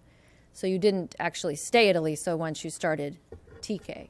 It's completely fine if you want to keep it school of residence. So just Mari and I were looking at the numbers and the and the kids, and it, it could become quite lopsided in terms of class size. I'm I'm I'm okay with it not being school of residence as long as it doesn't set a precedent. I think that we would have to be very clear, clear in granting Yes. that that it was simply for this pilot program based on space. If, if your superintendent can weigh in on this, um, because we were very engaged on the streets and the addresses, and it was very clear by the board that you wanted everybody to return, so no intras, with very few exceptions. The discretion was given to the site. So, for example, if I have a fifth grader finishing up at a school and the third grader is there and they've been on the intra, that they're just going to continue. But any new ones coming in, especially at the K1 TK, that they would be denied. And it was difficult because we had some families at one school who were there, their boundary changed, and now they had their little one entering in. And so we were very clean to the best to our ability, with the exception of certain situations that involved IEPs or 504 plans are very, very unusual situations, and Principal Pursoon can um, openly disagree with me. I welcome that because we wanted to implement your will, and that this next year it's even going to be better, but because there was this transition happening. So I am of the opinion that these students need to attend their school of residence. So just going through the list, um, with the School of Residence listed, there's 19 Canalino and Right. 11 Aliso. So there just happens to be 11 openings at Aliso and TK. So Which that- works. 18 unknowns. and and then there's 18 unknowns. So um, so right now I see that warrants one class at Canalino, um, which is going to be. How big is the current TK class at Canalino? Jamie, Oh. Jamie, how ma- how big is the current TK class at Canalino? 17, right? That was in the PowerPoint. Oh, Yeah, I'm looking at Mari. She's the queen of numbers at our She is. district, but I believe it's a, at 15 right now. Oh, so there's 15 and 19. We have a few 34 pending, meaning they haven't finished their paperwork, but um, 34. You know, 34. So you're going to have two Two 17 classes. Well, yeah. Well, and we don't know what, about these 18. what, don't what about was the TK final numbers last year at? 22? Yeah. Okay. So. Okay. Okay. So We'll we're filling, we're, fi- yeah, so we're filling vacancies and not expanding another class, a teacher. Or, well, you'll vote on that. That's not at all. No, no, no, no, no. That, no, no, no. No, we're, it's basically open enrollment is what Okay. we're doing. It, it, mm-hmm. it's, it's, it's whoever's, it's op, it's, everyone who By shows up by September September 30th. thirtieth gets in. That's, that's what we're saying. So we may But be if, looking but at if I live in Aliso and there's room at Canalino, then I get into Canalino because this is an exception. Is Oh, I see what you're saying. you see what I'm? So, Yeah. well, I mean, i- we're not gonna, so what you're saying is we have two twenty-four student classrooms at one school, but we have more students coming to that school and there's openings at the other school? Yes. Let's And uh, parents have said to me that they'll they don't mind. They'll go to whichever school has the space. And correct? Yeah. Yes. They're sitting here in this room, not to call anyone out, but they will go to the school with the vacancy for that year and then return to their home residence school. I, I think we're opening a can of worms if we don't keep them at their school of residence And just increase the class size? or find a room. Well, we have to increase the class size because you're not gonna, you're not gonna have. I mean, that, Oh, there's gonna in open enrollment. There's gonna be 20 more kids coming. yeah. Mm-hmm. So w- uh, until we know the numbers on September Yeah. 30th, I don't think we can make any. Other Yeah, I, I don't, yeah. uh, Decisions on We class probably are size. gonna have to just revisit that at some Okay. point. Okay, Okay. Yeah, I, th- I think um, I, I'm with Michelle, though. I think that we need to have the School of Residence um, Be as the our priority. policy. Right. If it obviously, you know, if, if you need to bring it back to us for discussion at some point, then we can talk about it. Okay. So we will do everything to place the child in the school of residency first. Okay. By date of birth of these that are here. No date of birth. no date of birth, Okay. Open. No? So all of these and anybody who else who shows up by September in thirtieth. their school of residency. Unless that school is filled, they will go to the open space at the other school. No. Well, Okay. we're gonna We'll revisit about that, at the, at, we're gonna, Okay. we'll revisit that if, if it becomes an issue. And, and we can we can manage that. We we can be very flexible at the beginning of the year. We can in- add instructional assistants if we get larger from the site budget, and um, just support the students and the teacher as necessary. And you have the option of taking over room 39 from the preschool, right? Um, I believe that we decided that we at our last meeting we decided that wasn't going to happen. That because CCP was going to retain that room. Um, the Micheline, the meeting we had with With the, Maria. When we we met as part of this planning group, that Maria was hoping to use that as the afternoon after school. Well, she can still use it for after school, but for the daytime, it doesn't need to sit there. It can be Well, used I for think a I don't want to TK speak for her, but at at the last meeting, she was hoping to use it for both purposes, and so we agreed that I in this scenario that we would not use that room because she's not back until the 17th. And, and we also said that we would not make decisions until the board took action Correct. tonight. So if it's your direction that we use 39, then Th- There's going to have to be some flexibility Yeah. with this. So, I have a plan. Other, I'm, I'm fine. okay. Good. I trust Good to that go. you have a plan. Yeah. Great, I'm on it. Barnaby and I, we're going to see. All we- right, We've already I'm got a- it handled. thank you. Nice haircut. I, um, I'm going you're for distracting me. Yes. Sorry. Needed a little I amend my motion that we bring to the August 23rd board meeting Board Policy 5111 for review and Administrative Reg- Regulation 6170.1. That shall include a pilot early transitional kindergarten program for the 2016-2017 school year that includes a September 30th enrollment deadline and that students who enroll in the early transitional K program will be enrolled at their school of residence. Can I get a second? I'll I'll second. second. Oh, that's good. Do we want any more, dis- have any more discussion? No. Okay. All in favor? Aye. Aye.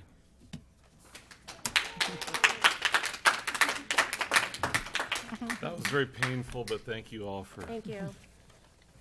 Being patient with us. Now, the intra-district. mhm. Yeah, so Well, now, I got a lot written on it, but I'll rewrite it. so for now we have, uh, so, so that, now we've got to uh, revisit the interdistrict transfer, um, that was part of that June twenty-eighth decision. And I, Trying to remember. I'm trying to what- remember that, but, um, Can we look in the Actually, here, minutes? let me see. I might Great. have it. yeah, No, we should- we don't no, we don't have those minutes. Craig can probably refresh our memories. Can you go up to the podium and refresh us, Craig?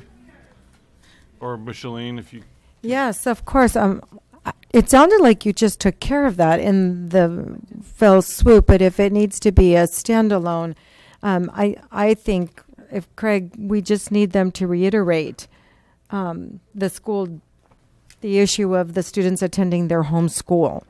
Not, but not just specifically to TK. No. It has to apply to all students. Yes.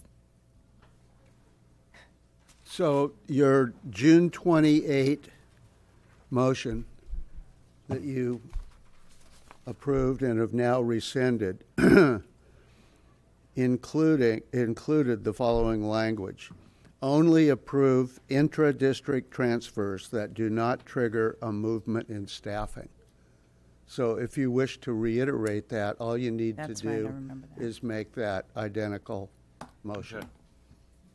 Yeah, You I wanna make agree with that. You want to make that motion? Yeah, I will. Uh, I move that uh, intra-district transfers only be approved if they do not uh, trigger uh, an increase in s- need for staff. Is that clear enough? Second. Discussion? Is that clear enough, Darlene? Micheline? Oh, we've we've held to that. That was the easier part. Okay, all in Thank favor? you. Aye. That was Michelle seconding that, yeah. Okay. Move on to item four, presentation on our standardized visitor sign-in sheets. And we have co-chair of our safety committee, Mr. Gloger here.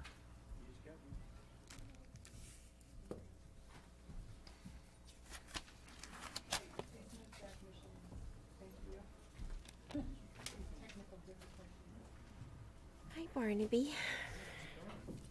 Everybody should take a stretch break. Uh, yeah, uh-huh. I should. Breath. Down the bottom. Thank you. It is, it's way down there.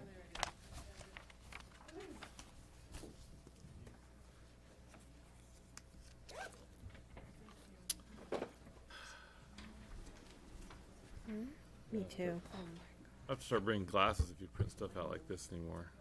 Glasses? I'll look at that. All right. Well, good evening, everyone. Thanks for having me here.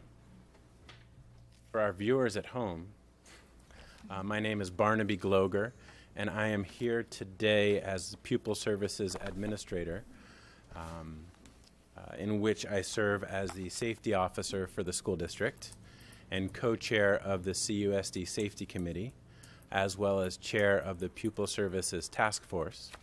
And so I am presenting today, uh, in collaboration with the task force and the safety committee, um, a uh, informational presentation on a standardized visitor sign-in sheet forms um, that we are uh, researching, investigating, and looking to um, to have standardized throughout the school district in all the school sites. We um, we came up with these sign-in sheets with the following in mind: uh, school safety, student safety, staff safety, all all community stakeholders that step foot on campus. Uh, we um, are also keeping in mind student confidentiality as a priority, as well as the importance of showing consistency site to site, district wide, and uh, good customer service. We want uh, we want to be aware of people's uh, feeling welcome and informed and uh, um, uh, welcome professionally at each school site. So here we go. So currently, we have a variety of different practices at each site. Um, it varies from some sites who um, sort of have a check-in visitor sign-in sheet that's lightly used to others that um, I know at Carpinteria High School, Mr. Cornejo and I developed a, uh, um, a, a, visitor sign-in sheet protocol in which uh, we um, made sure everyone checked in at the front office and uh, provided their uh, proof of identification, collateral while they are visiting the site. Um, again, you know, so we're just we're looking at a lot of different um, types of uh, ways people are checking in and signing in as visitors at our different sites. So here are just a couple examples of different sign-in sheets that have been used at sites this past school year.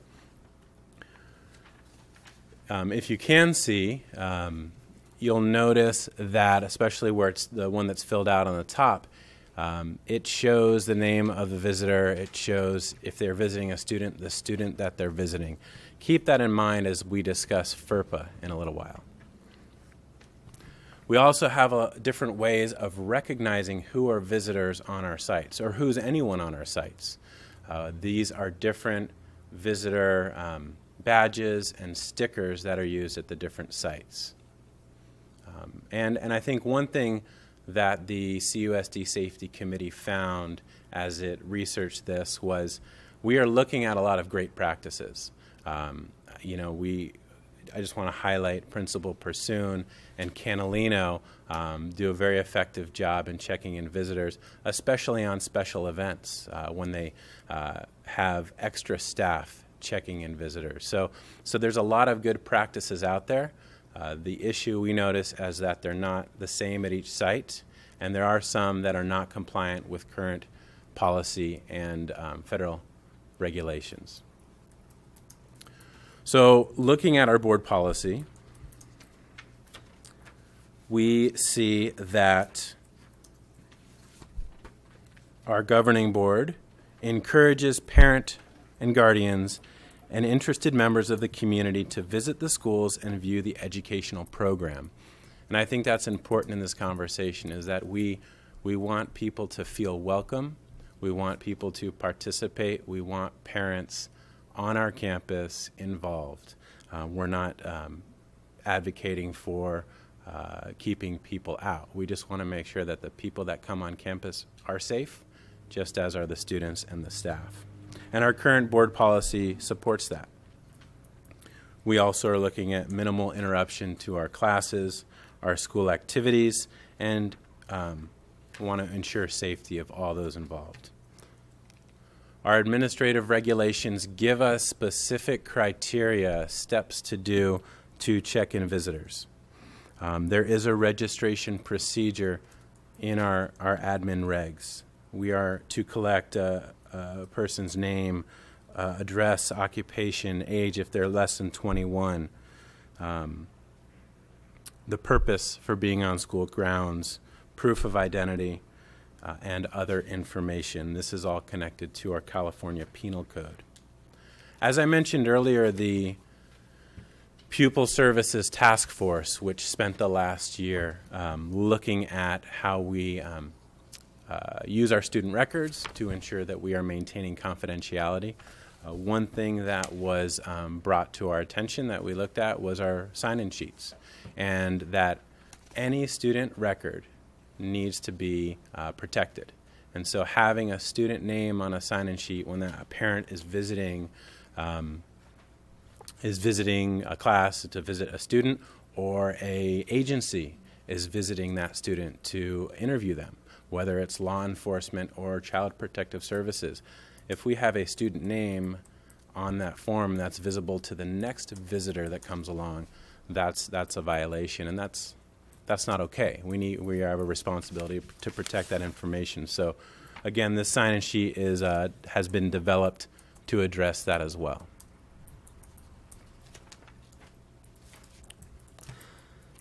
I, uh, I'm very fortunate. I get to serve, I get to wear a lot of different hats, as you know um, principal, administrator, um, safety officer. Best hat of all is parent.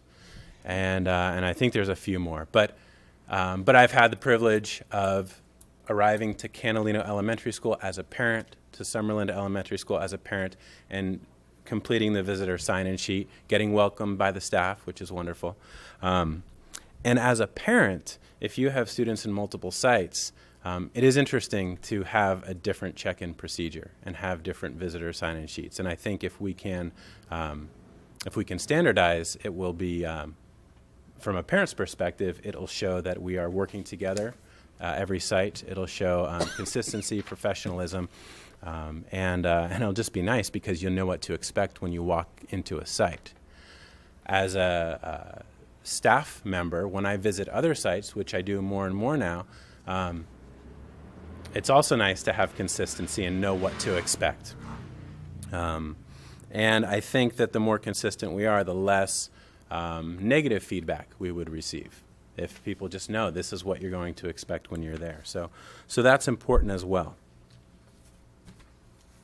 So, moving on, as we look at this sign in sheet through different lenses as board members, as staff members, as parents, as agencies visiting, um, I, I, want to walk you through uh, this sign in sheet from those different perspectives.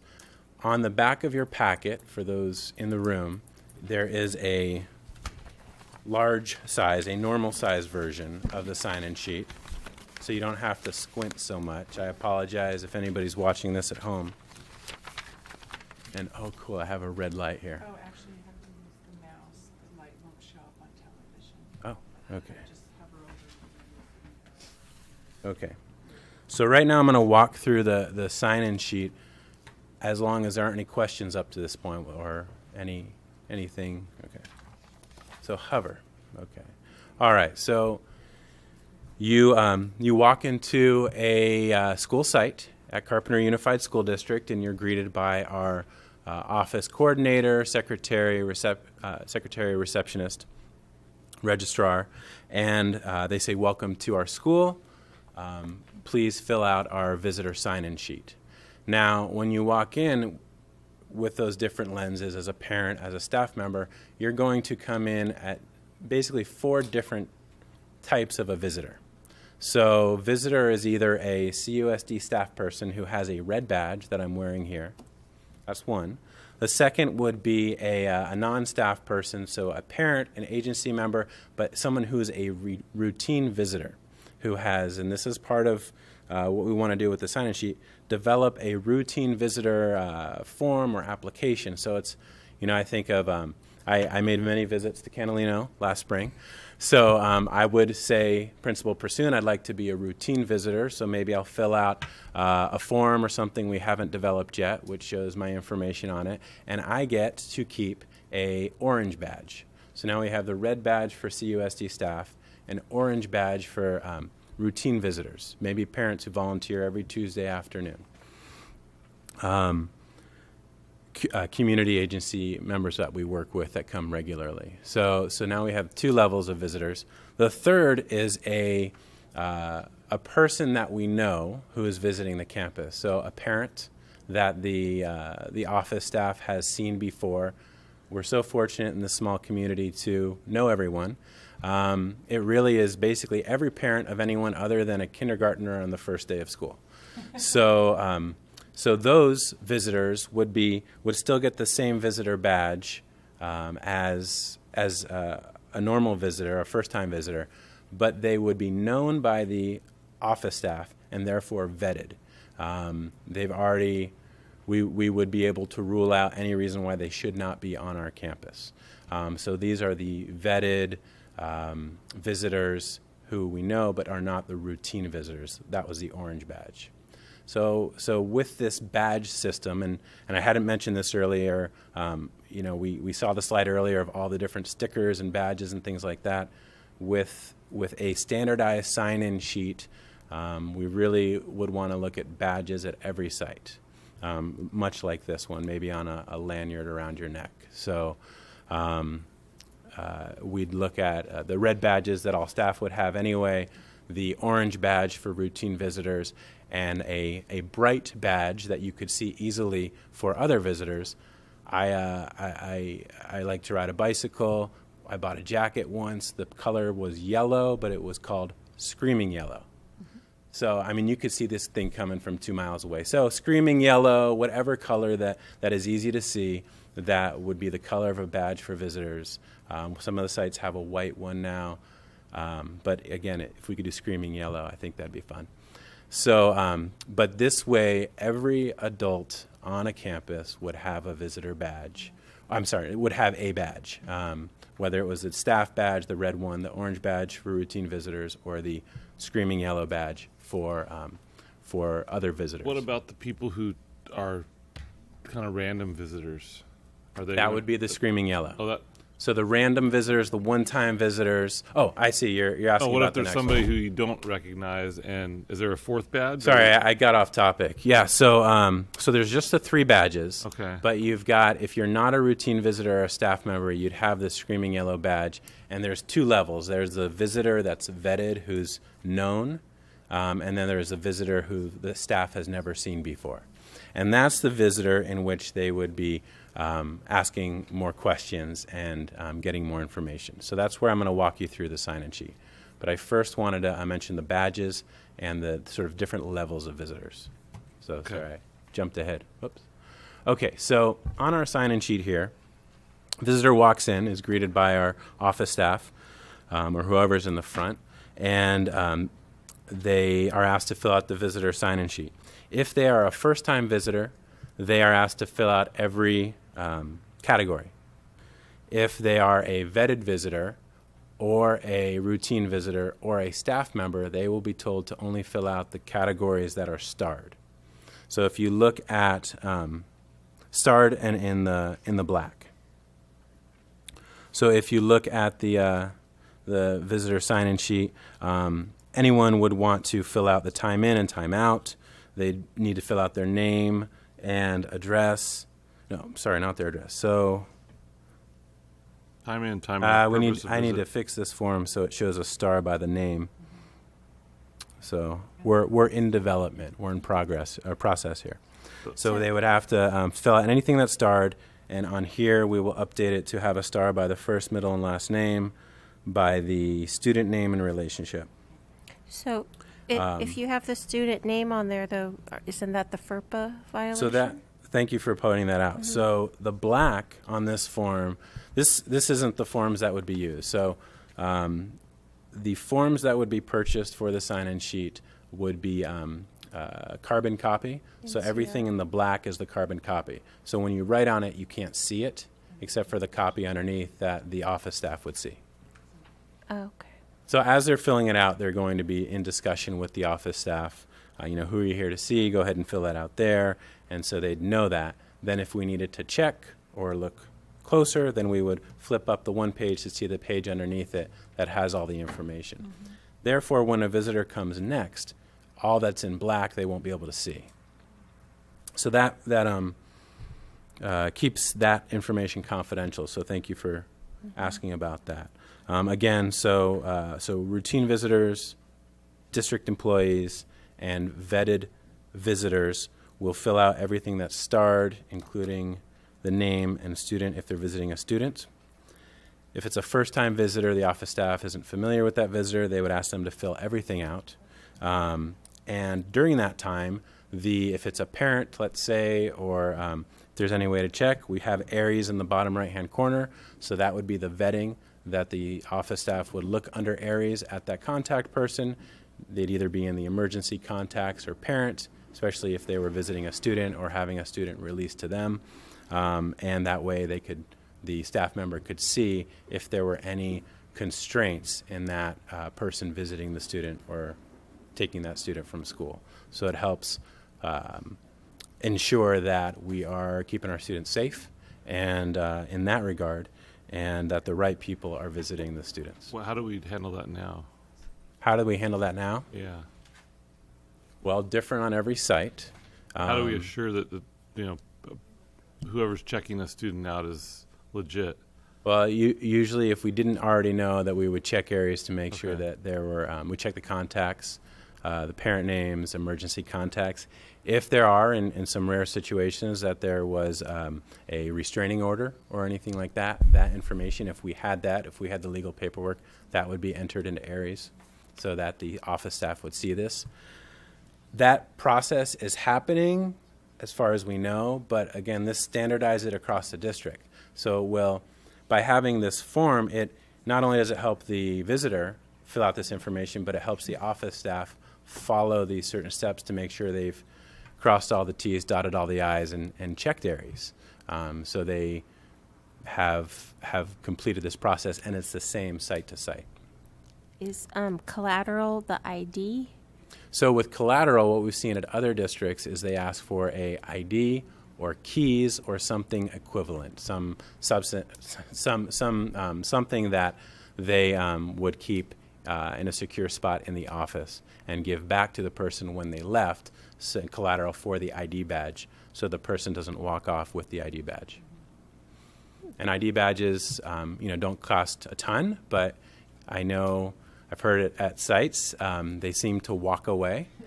So, um, and it's it's common for to start with 20 ID badges, and by the end of the year, be down to five. Mm-hmm. Well, it's probably good to keep the ID anyway, or have them pull the ID just to compare what they're putting on there anyway. If Right. if yeah, with with asking for the ID, yeah, and so so the Not visitor, the first yeah. time visitor, um, the the office staff would ask to see their ID, Yeah. um, and that would help you know confirm the information that they're filling out is accurate. So, I think I think we talked about this a year or so ago when when we started, you know, the whole sign-in procedure. I still have a, a um, and I w- I'd like to see how it's worked out, but with our with our um, mobile, you know, staff, the the ones that tran that I guess transient staff, the ones that go from site to site, but in particular grounds and maintenance. I, I just see so much inefficiency with with a um, you know one of the you know someone coming to to fix a pipe having to go to the office, especially at the high school Mhm. or the middle school, where they could come in the back gate or they could come in a side gate and go fix something quickly. They've got to go to the front office, go you know show check in, and then go to their their spot. And Mhm. and I just I I mean I I just see dollars there. Mm-hmm. Um, and I, have we had any feedback f- from from uh, some of our crews, some of our staff? Yeah, we we've been discussing that, you know, all year. Um, actually, since the last two years, um, how to accomplish that, how to be efficient, um, but also how to make sure that we know who's on our campus at all times. Um, you know, a big part of that is always having a badge on. I think that's something we're going to have to uh, to continue to promote and make sure that that's happening. Um, but no, we've we've talked with the different facilities directors and supervisors quite a bit about that. We've thought of different solutions and ways to do that, whether it's them calling ahead uh, or having a separate sign-in area or sheet um, where they sign in on their own. Um, we've looked at different options. I think uh, one thing is if there is an emergency while they're on campus, we need to know that they're on campus for uh, our safety as well as their safety. Um, you know, in conversations I've had with facilities, if uh, if they're hurt while operating heavy machinery or doing work and they haven't checked in, no one would know about that that they were on campus.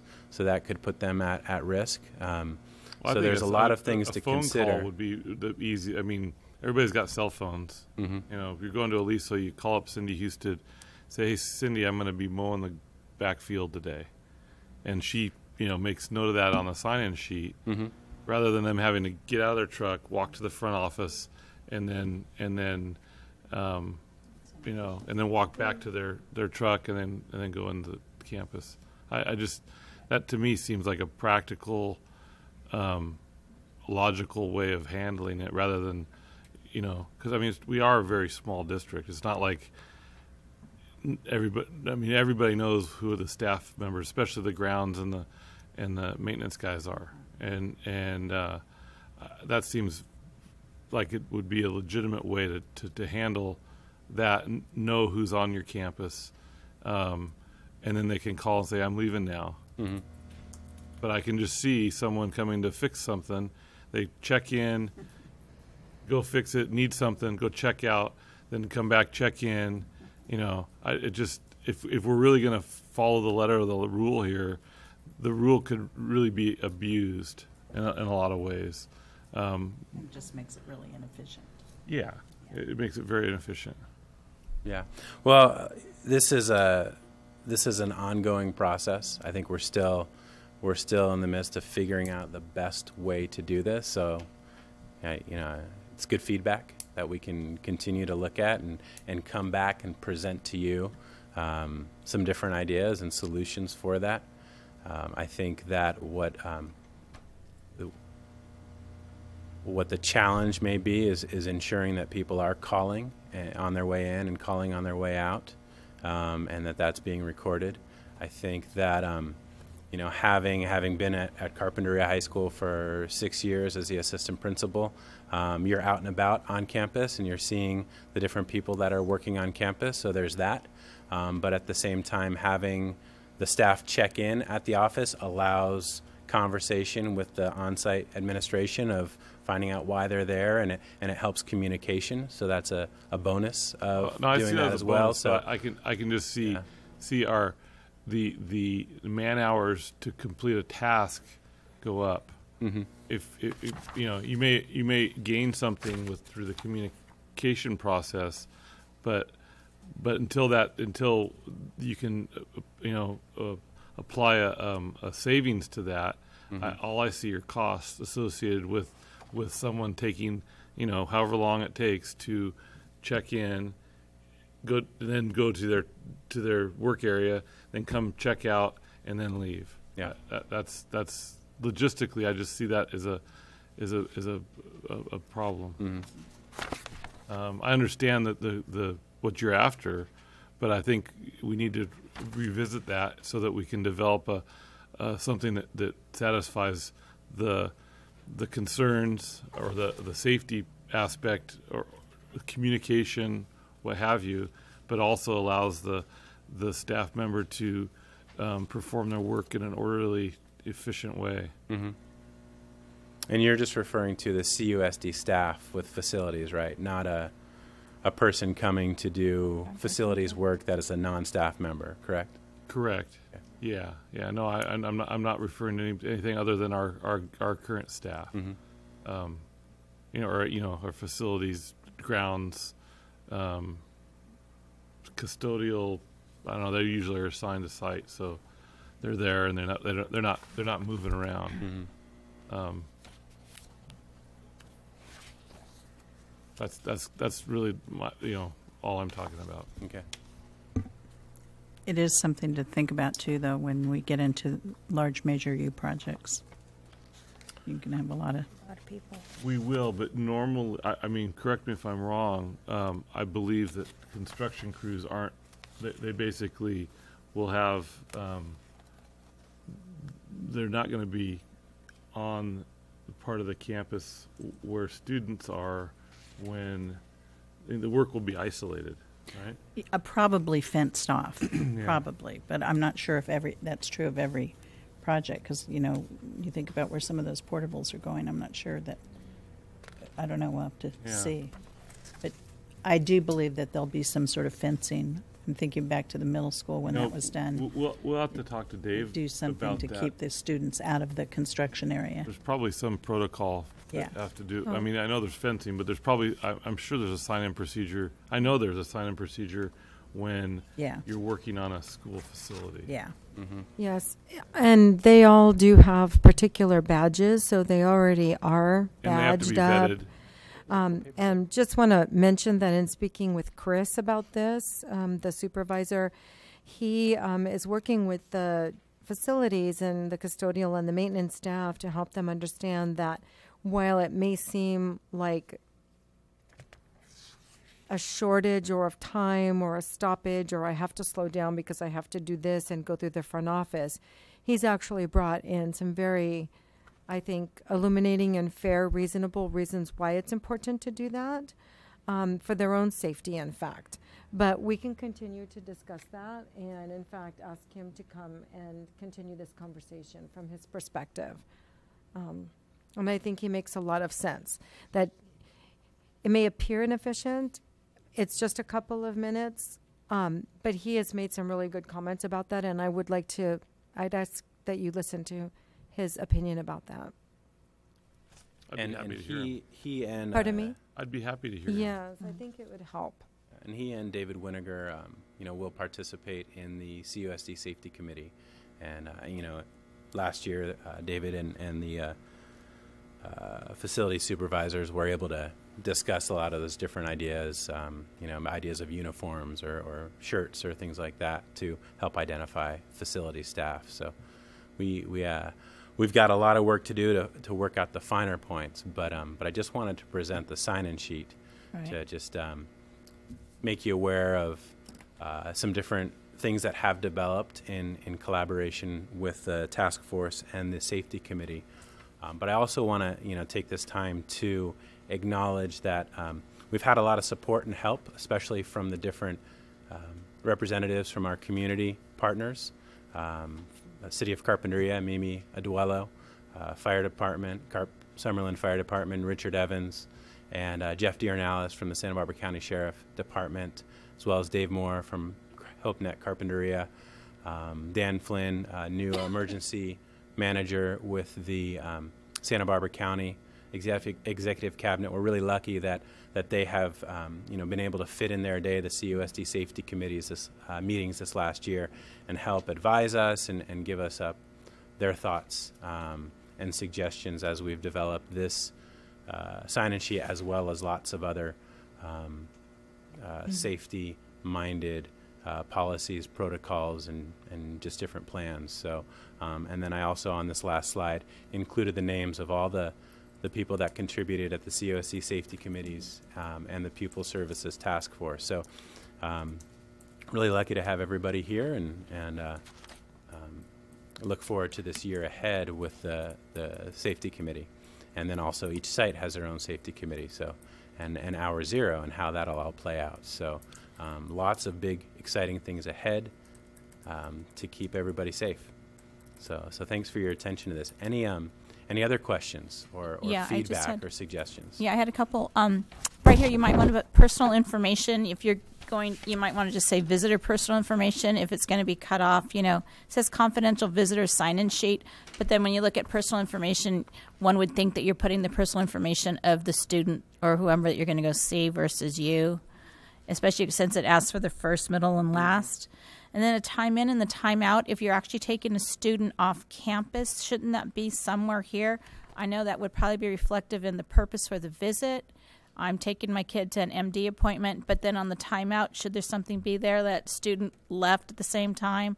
So we actually have a, a student a release separate- law. You have another one? That's Oh. similar, but it's it's a Oh, separate. okay. Because I know, like at the middle school, it was all inclusive. So that's why, you know, when you signed one line, it was in, out, and you took your kid with you. And I know that's what you're trying to, um, you know, do now, make it more standard. So this is just for the visitor to This come is in just for and out. visitors, yeah.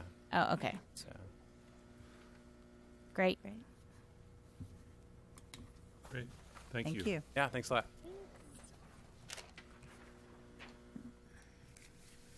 Okay, we'll move on to superintendent's report.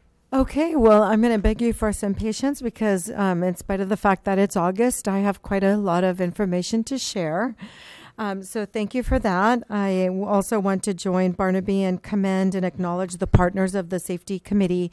The staff were not compensated, so all of the hours that they invested after work until 4:30, 5 o'clock, in some cases six.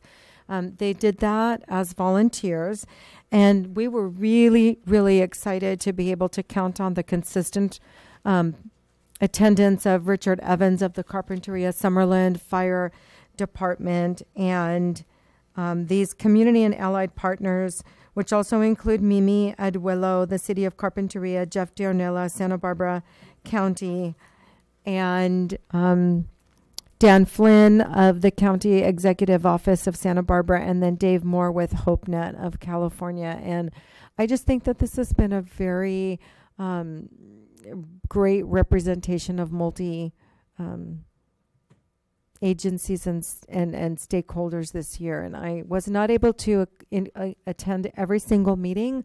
Um, but I was able to meet when I wasn't available with um, the co-chairs and some of the smaller a smaller group and um, they're really to be commended on their outstanding efforts a lot was accomplished this year so i want to thank them i attended my first uh, girls inc of carpinteria board meeting as a new board of trustee and i'm really looking forward to learning and adding value to the mission that supports being strong smart and bold and so this has been truly an honor as a new person in the community only been here for a year uh, to have been invited and then to go through that vetting process. And I'm truly um, overwhelmed with their confidence and support.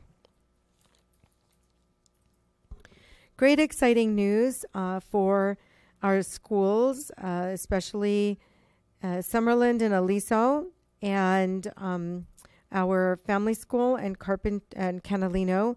We have been given official approval from SAGE for the Sage Garden Project Grow package, which includes full funding for the school year, $12,500 per site for 10 hours per week of the garden education services, with the option of applying for three consecutive school years of continued funding. It includes lesson plans for grades K 6 focused on nutrition and garden education, training at the Edible Schoolyard Academy in Berkeley for garden educators a cooking cart for each site that includes small appliances, pots and pans, food prep tools, dishware, and soft goods like dish towels, hot pads, mitts, casserole towels, and cleanup towels.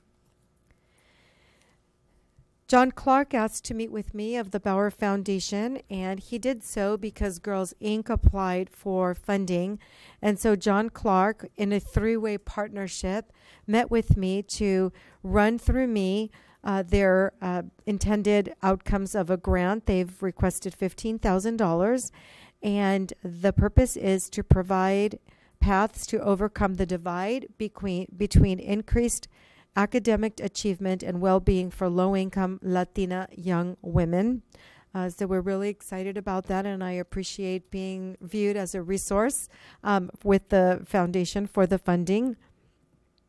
It um, also intends to build academic self confidence, self exploration, and growth. We will be looking at the CAASPP scores, homework grades, and DIBELS at the third grade literacy benchmarks for collecting the data of the success of the program. On July 28th, I attended the Partnership in Education annual retreat as an incoming director on the board of directors. I um, was thrilled to also be asked to participate at that level.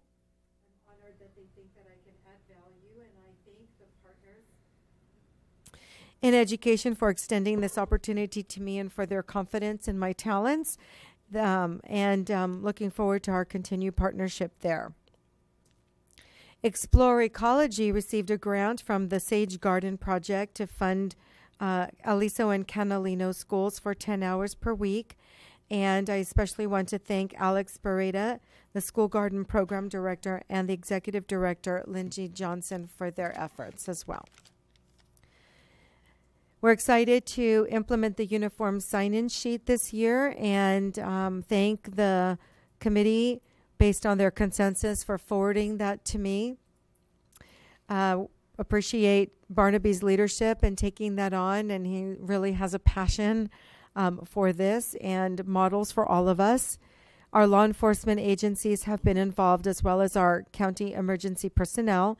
And August 15th from 9 to 12 will be the training for identified staff in hour zero. We're using that trainer of trainers model, and so then those folks will go and train site and departments as well. With respect to the principal vacancy, we received 23 applications and interviewed six finalists. The panel was comprised of Aliso and Summerland members, including Judy Holler, Sarah Monroe, Cindy Husted, Felicity Moore, Brett Weinberg, Mari Hornback, and Shannon Coletti. In addition to the oral interview, the candidates completed a writing prompt which required analyzing school climate data. And we're excited to welcome Michelle Fox um, this evening. And if it's appropriate, I'd like to request her to come to the podium and make some introductions. Certainly. Thank you. I was wondering who's hanging out for this meeting. Yes. I started figuring it out. Great. Okay, perfect. Thank you. Um, I'm Michelle Fox. Um, I'm thrilled to be in Carpinteria. I'm uh, looking so forward to starting and working with um, the students at Aliso and Summerland. Um, I come with 24 years of experience in education, and um, I started out in Stockton and um, was in Guadalupe for 15 years. Did some administrative work in Atascadero, and now I'm here, and really, really excited to be here. I've moved. I've sold my house in Nipomo, and I've moved to Ventura, and so um, just I'm thrilled. Great. Welcome. Thank you. Glad to have you. Thank you. I'm real excited. And Michelle dove right into the TIERS training for the therapeutic learning class at Aliso. So she's um, she's in. we're we're thrilled to have her. We had a very busy summer district wide. Uh, in addition to uh, providing very successful summer programs for our students, we also had a number of summer projects that took place on the campuses. So I'm trying to be brief, but I think it's important for you and our community to know that as far as the summer activities for programs, we had extended school year for our students with IEPs. We had the Can- the Carpinteria High School Summer School in session. ACES Summer Academy, Fun in the Sun at Aliso through the United Way, Safety Town at CCP with Maria Fisk, Track Meets at the high school, Summer Institute with Krista Munisich, and I happened to speak with her, and I just, you know, can't tell you um, again, over and over again, the amazing talents we have in our, our teachers um, in our district. I'm continuously impressed, and um, a number of us at this table, in fact, continually speak about um, their gifts and um, how they motivate us to even be better leaders through um, through through their work as teachers. We had football and cheer camps, track meets, summer enrichment, more track meets in the evenings, and um, the list goes on. And then our summer improvement projects at the sites that included exterior painting upgrades at main campus CCP, multi-purpose building roof replacements at the middle school, with the upper gym roof replacement at the high school, which means the upper section of the gym, not to be confused with a lower gym.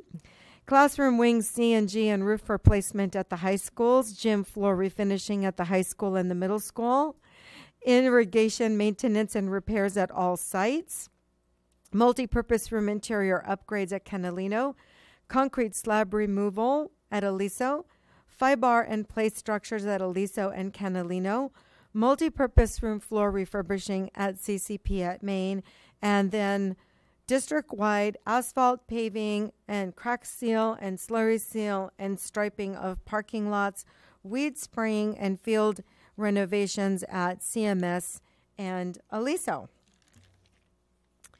And um, if that's not enough, um, I look forward to taking vacation in um, September or October this year.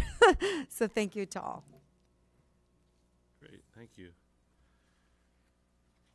Okay, where are we here? Nope, no public comment. Everyone left. Okay, uh, move on to, move on to item uh, F, educational services. And we're being asked to look at a contract with MyDoc Productions LLC and the Carpinteria Plaza Playhouse. Yes, and I think we can defer to Dr. Shannon Coletti um, about this, and I had given you some information ahead of time as well, trustees.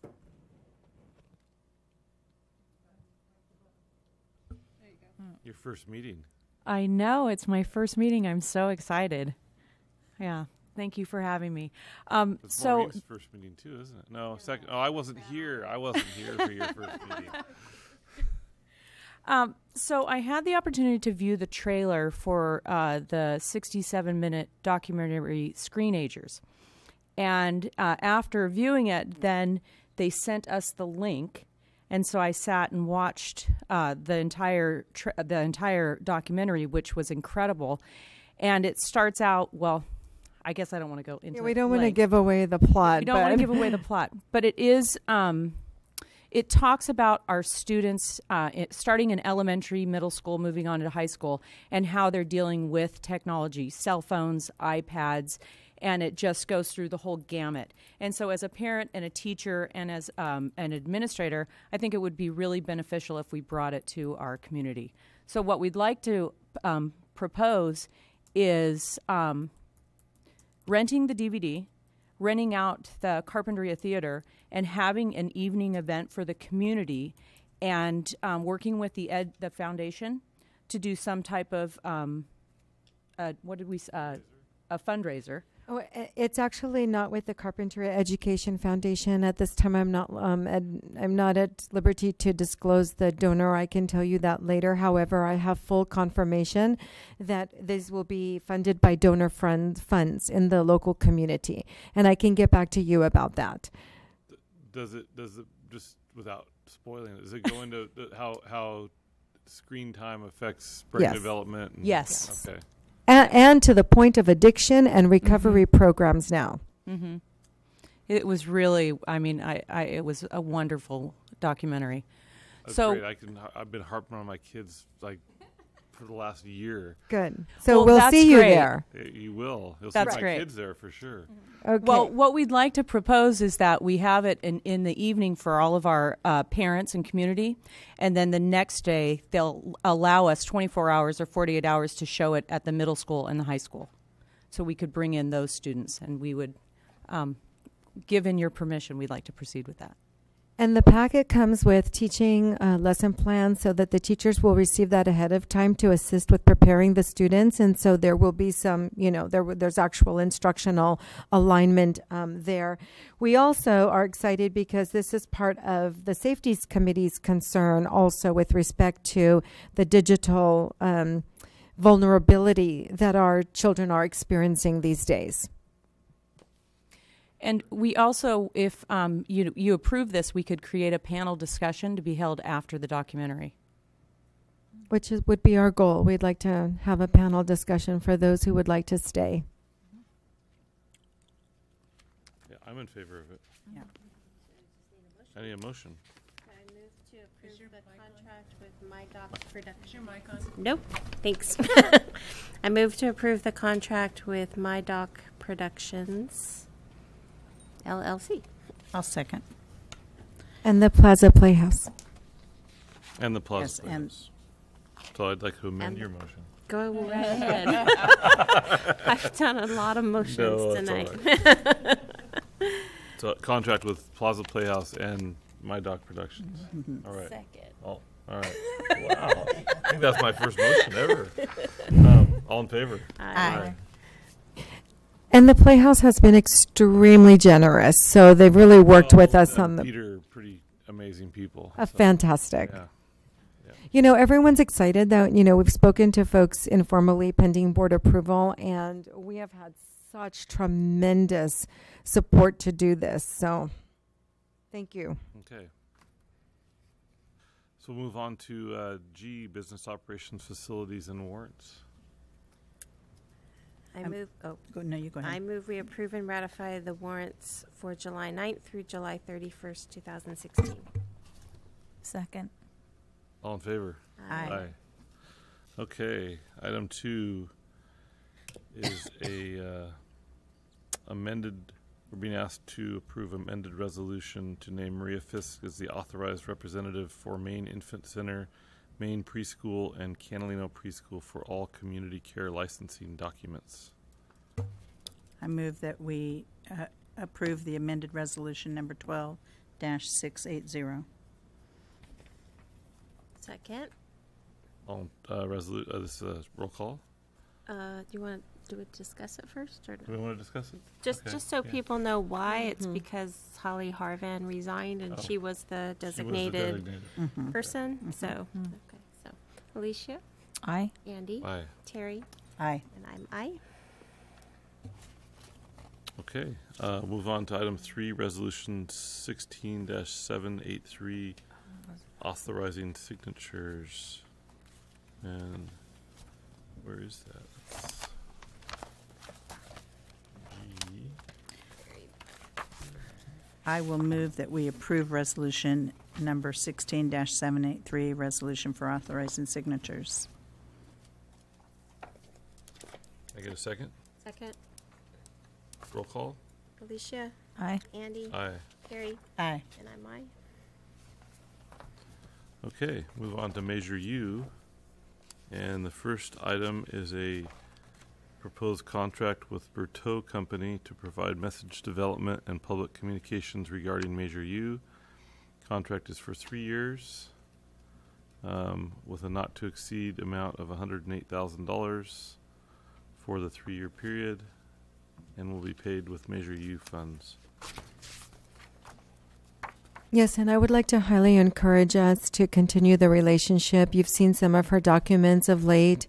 Um, Stephanie has uh, really engaged herself in our district, and uh, we have something that's very positive moving along. And um, there's an option for us to do it for one year, two year, three year. Um, but since we're in it, of course, we can always cancel if necessary. It is cancelable at any time? Yes. If we, if we decide to. Absolutely. Okay. Yes.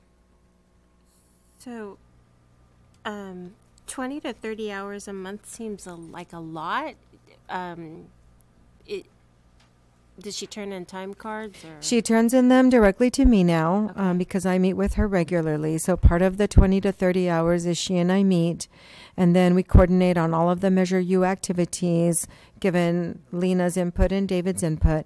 And then she and I work on the documents, and then we decide on layout and pictures, and I make sure that there's balance of our population and grades and activities and et cetera, et cetera. And then she does attend some of our meetings to take photos and to be there directly to capture um, some of the highlights. Um, but, you know, sometimes, like with the newsletter that went out, that will be more than 20 to 30 hours, but then in other times it's less. So everything that happens now for this year, I've um, tightened up many protocols. And so everything like our legal fees and any um, uh, work that's done on any of our contracted services, um, first the person who, example, works closely with that will verify. Then I review everything, affirm, and then I give my signature, and it moves over to Maureen to allocate in the appropriate budget fund. So I am more actively engaged in very carefully looking at all of the hours and the work that's being done.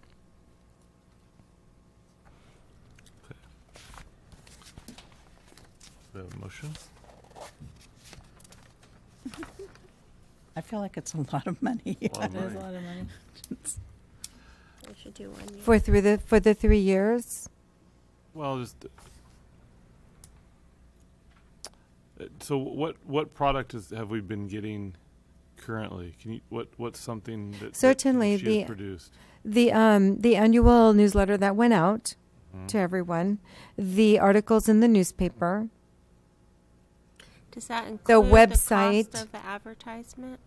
Does the advertisement, the translation of everything into Spanish. So we don't pay for the coastal view ad. This is part of their Yes. scope.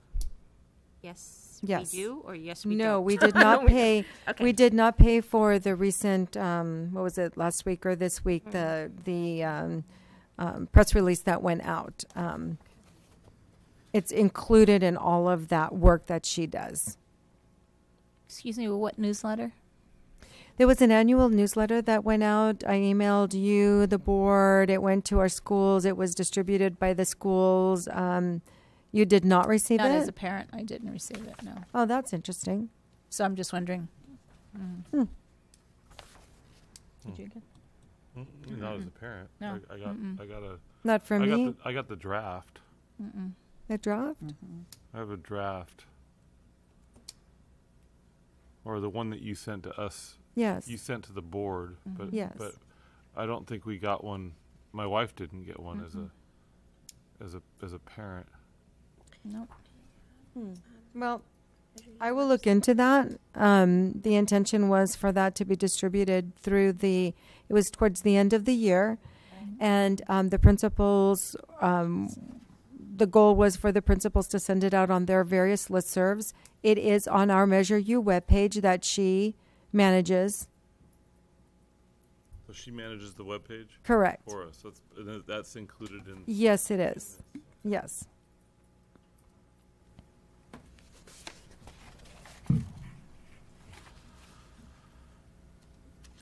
Hmm. Just out of curiosity, so um, the contract for one year would be a third of that? Thirty-six thousand. Oh, is it right there? oh, I'm here. sorry, I didn't see that. Oh. Yeah. Okay. And it's and it's just an est- it's an Mhm. estimate. And and she was brought in prior to me or right about the time I didn't have anything to do with recommending her, but she and I have been working together and I find uh, that No, her work I- is I- I- reputable. I, don't. I think. I, I don't think there's any any Yeah. question about her qualifications or her, or her, um, you know, abilities. But I think it's more the cost. Um, It's a big chunk of money. That's a couple of um, out It- of it's an U. yes, and it's unfortunate. it's half a portable. It's unfortunate that we don't have staff assigned and someone who can do that. Um, you know, we don't we don't have anybody at this point in time who can dedicate that time to write the articles, to go out and take the pictures. But it happened before, so I don't. Did What you have happened a before? communications thing for the last bond? Well, I'm just thinking of all the stuff going up, even to Measure U. You know, the things got written in house. Paul did a lot. Yeah. Um, Has she already developed a neighborhood outreach plan? Or community outreach plan? How much has she built us so far? Just out of curiosity, a, a year? Uh, I'm not prepared to answer that. I can send it to you t- for the email. We have it in Escape. We can pull up a report um, for the Measure U. That's not an issue. Could could we Um, could we Table revisit maybe revisit this at the next We'll meeting? Yeah. Certainly. Will you let me know specifically what would help you? Um, I would like to know what we've paid her thus far and what has been her deliverables since then. yeah. And what the timeline is for these other, the rest of the scope of work. No problem. Okay, so Yep, we're going to table I that. agree. Okay, uh, item two is, uh, environmental consulting services contract with Dudek, uh, Engineering. And we're being asked to approve a proposal from Dudek to provide environmental consulting services on Measure U projects. And the contract cost will be paid from Measure U funds. Uh, each site varies. Um, but they're gonna help with our CEQA Yeah. and, which in reading through this, uh, I- I'm just the, the, the, it's just crazy how much regulation there is Mm-hmm. and how much money we're gonna spend on it. Yep. Um, Agreed. but I think we, I mean, apparently we have to do it. We do. So, We okay, do. so can I get a motion? Uh, I move that we approve the environmental consulting services um, from Dudek. I second. Any more discussion? All in favor? Aye. Okay. Uh, pers- I- Item I, personnel. This is an agreement for special services, fact-finding with School Services of California. Yes, um, well, we are now officially in fact finding. Um, the mediator declared us in fact finding, which means now that we are relying on external uh, support to resolve our differences um, with respect to the negotiations and the um, salary and benefits between the Carpinteria Unified School District and CAUSE. And um, so before you, we have the required um, service agreement for Ron Bennett. I do know this answer to the question in case you're asking. So far, we have incurred $3,084. Of course, we haven't paid it because he did the work through the mediation process in June, and now we're presented with the official paperwork. So once you approve, we will then in, um, pay the invoice. But so far, 3,084. And that was just the month of June. So I'll move that we approve the agreement for special services fact-finding with School Services of California. Second. Any discussion? All in favor? Aye. Okay, board communications. Well, just enjoy, uh, we hope that I hope that staff and students enjoy the rest of the summer. That's mine. all right. That's short and simple. Did you enjoy yours? yes, so far. Yeah, all right, good. Michelle, nothing? No? Yeah, I don't Good. have anything either. No, I, um, I have had a nice summer so far. It's been pretty It's relaxing. nice and tan. Do you see that? My hair's long. the, the uh, yeah, we had some nice camping trips. Hopefully, get one more in before we're done. Um, okay. I have a couple agenda items. All right. So, future agenda items. Um, so CAASPP scores are coming out Yeah, when are they officially. I mean, I know they're out unofficially. But, Yeah. Uh, do we have a timeline for releasing those to the public and to us to discuss? You're asking for a presentation? Um, Just a certainly. timeline. Yes. Like September or Yes, October? we hope to be able to do that um, the late September. One of the other things that we're coming back in, um, realistically, we had said the end of August or beginning of October is the next phase of the Measure U update from our last workshop.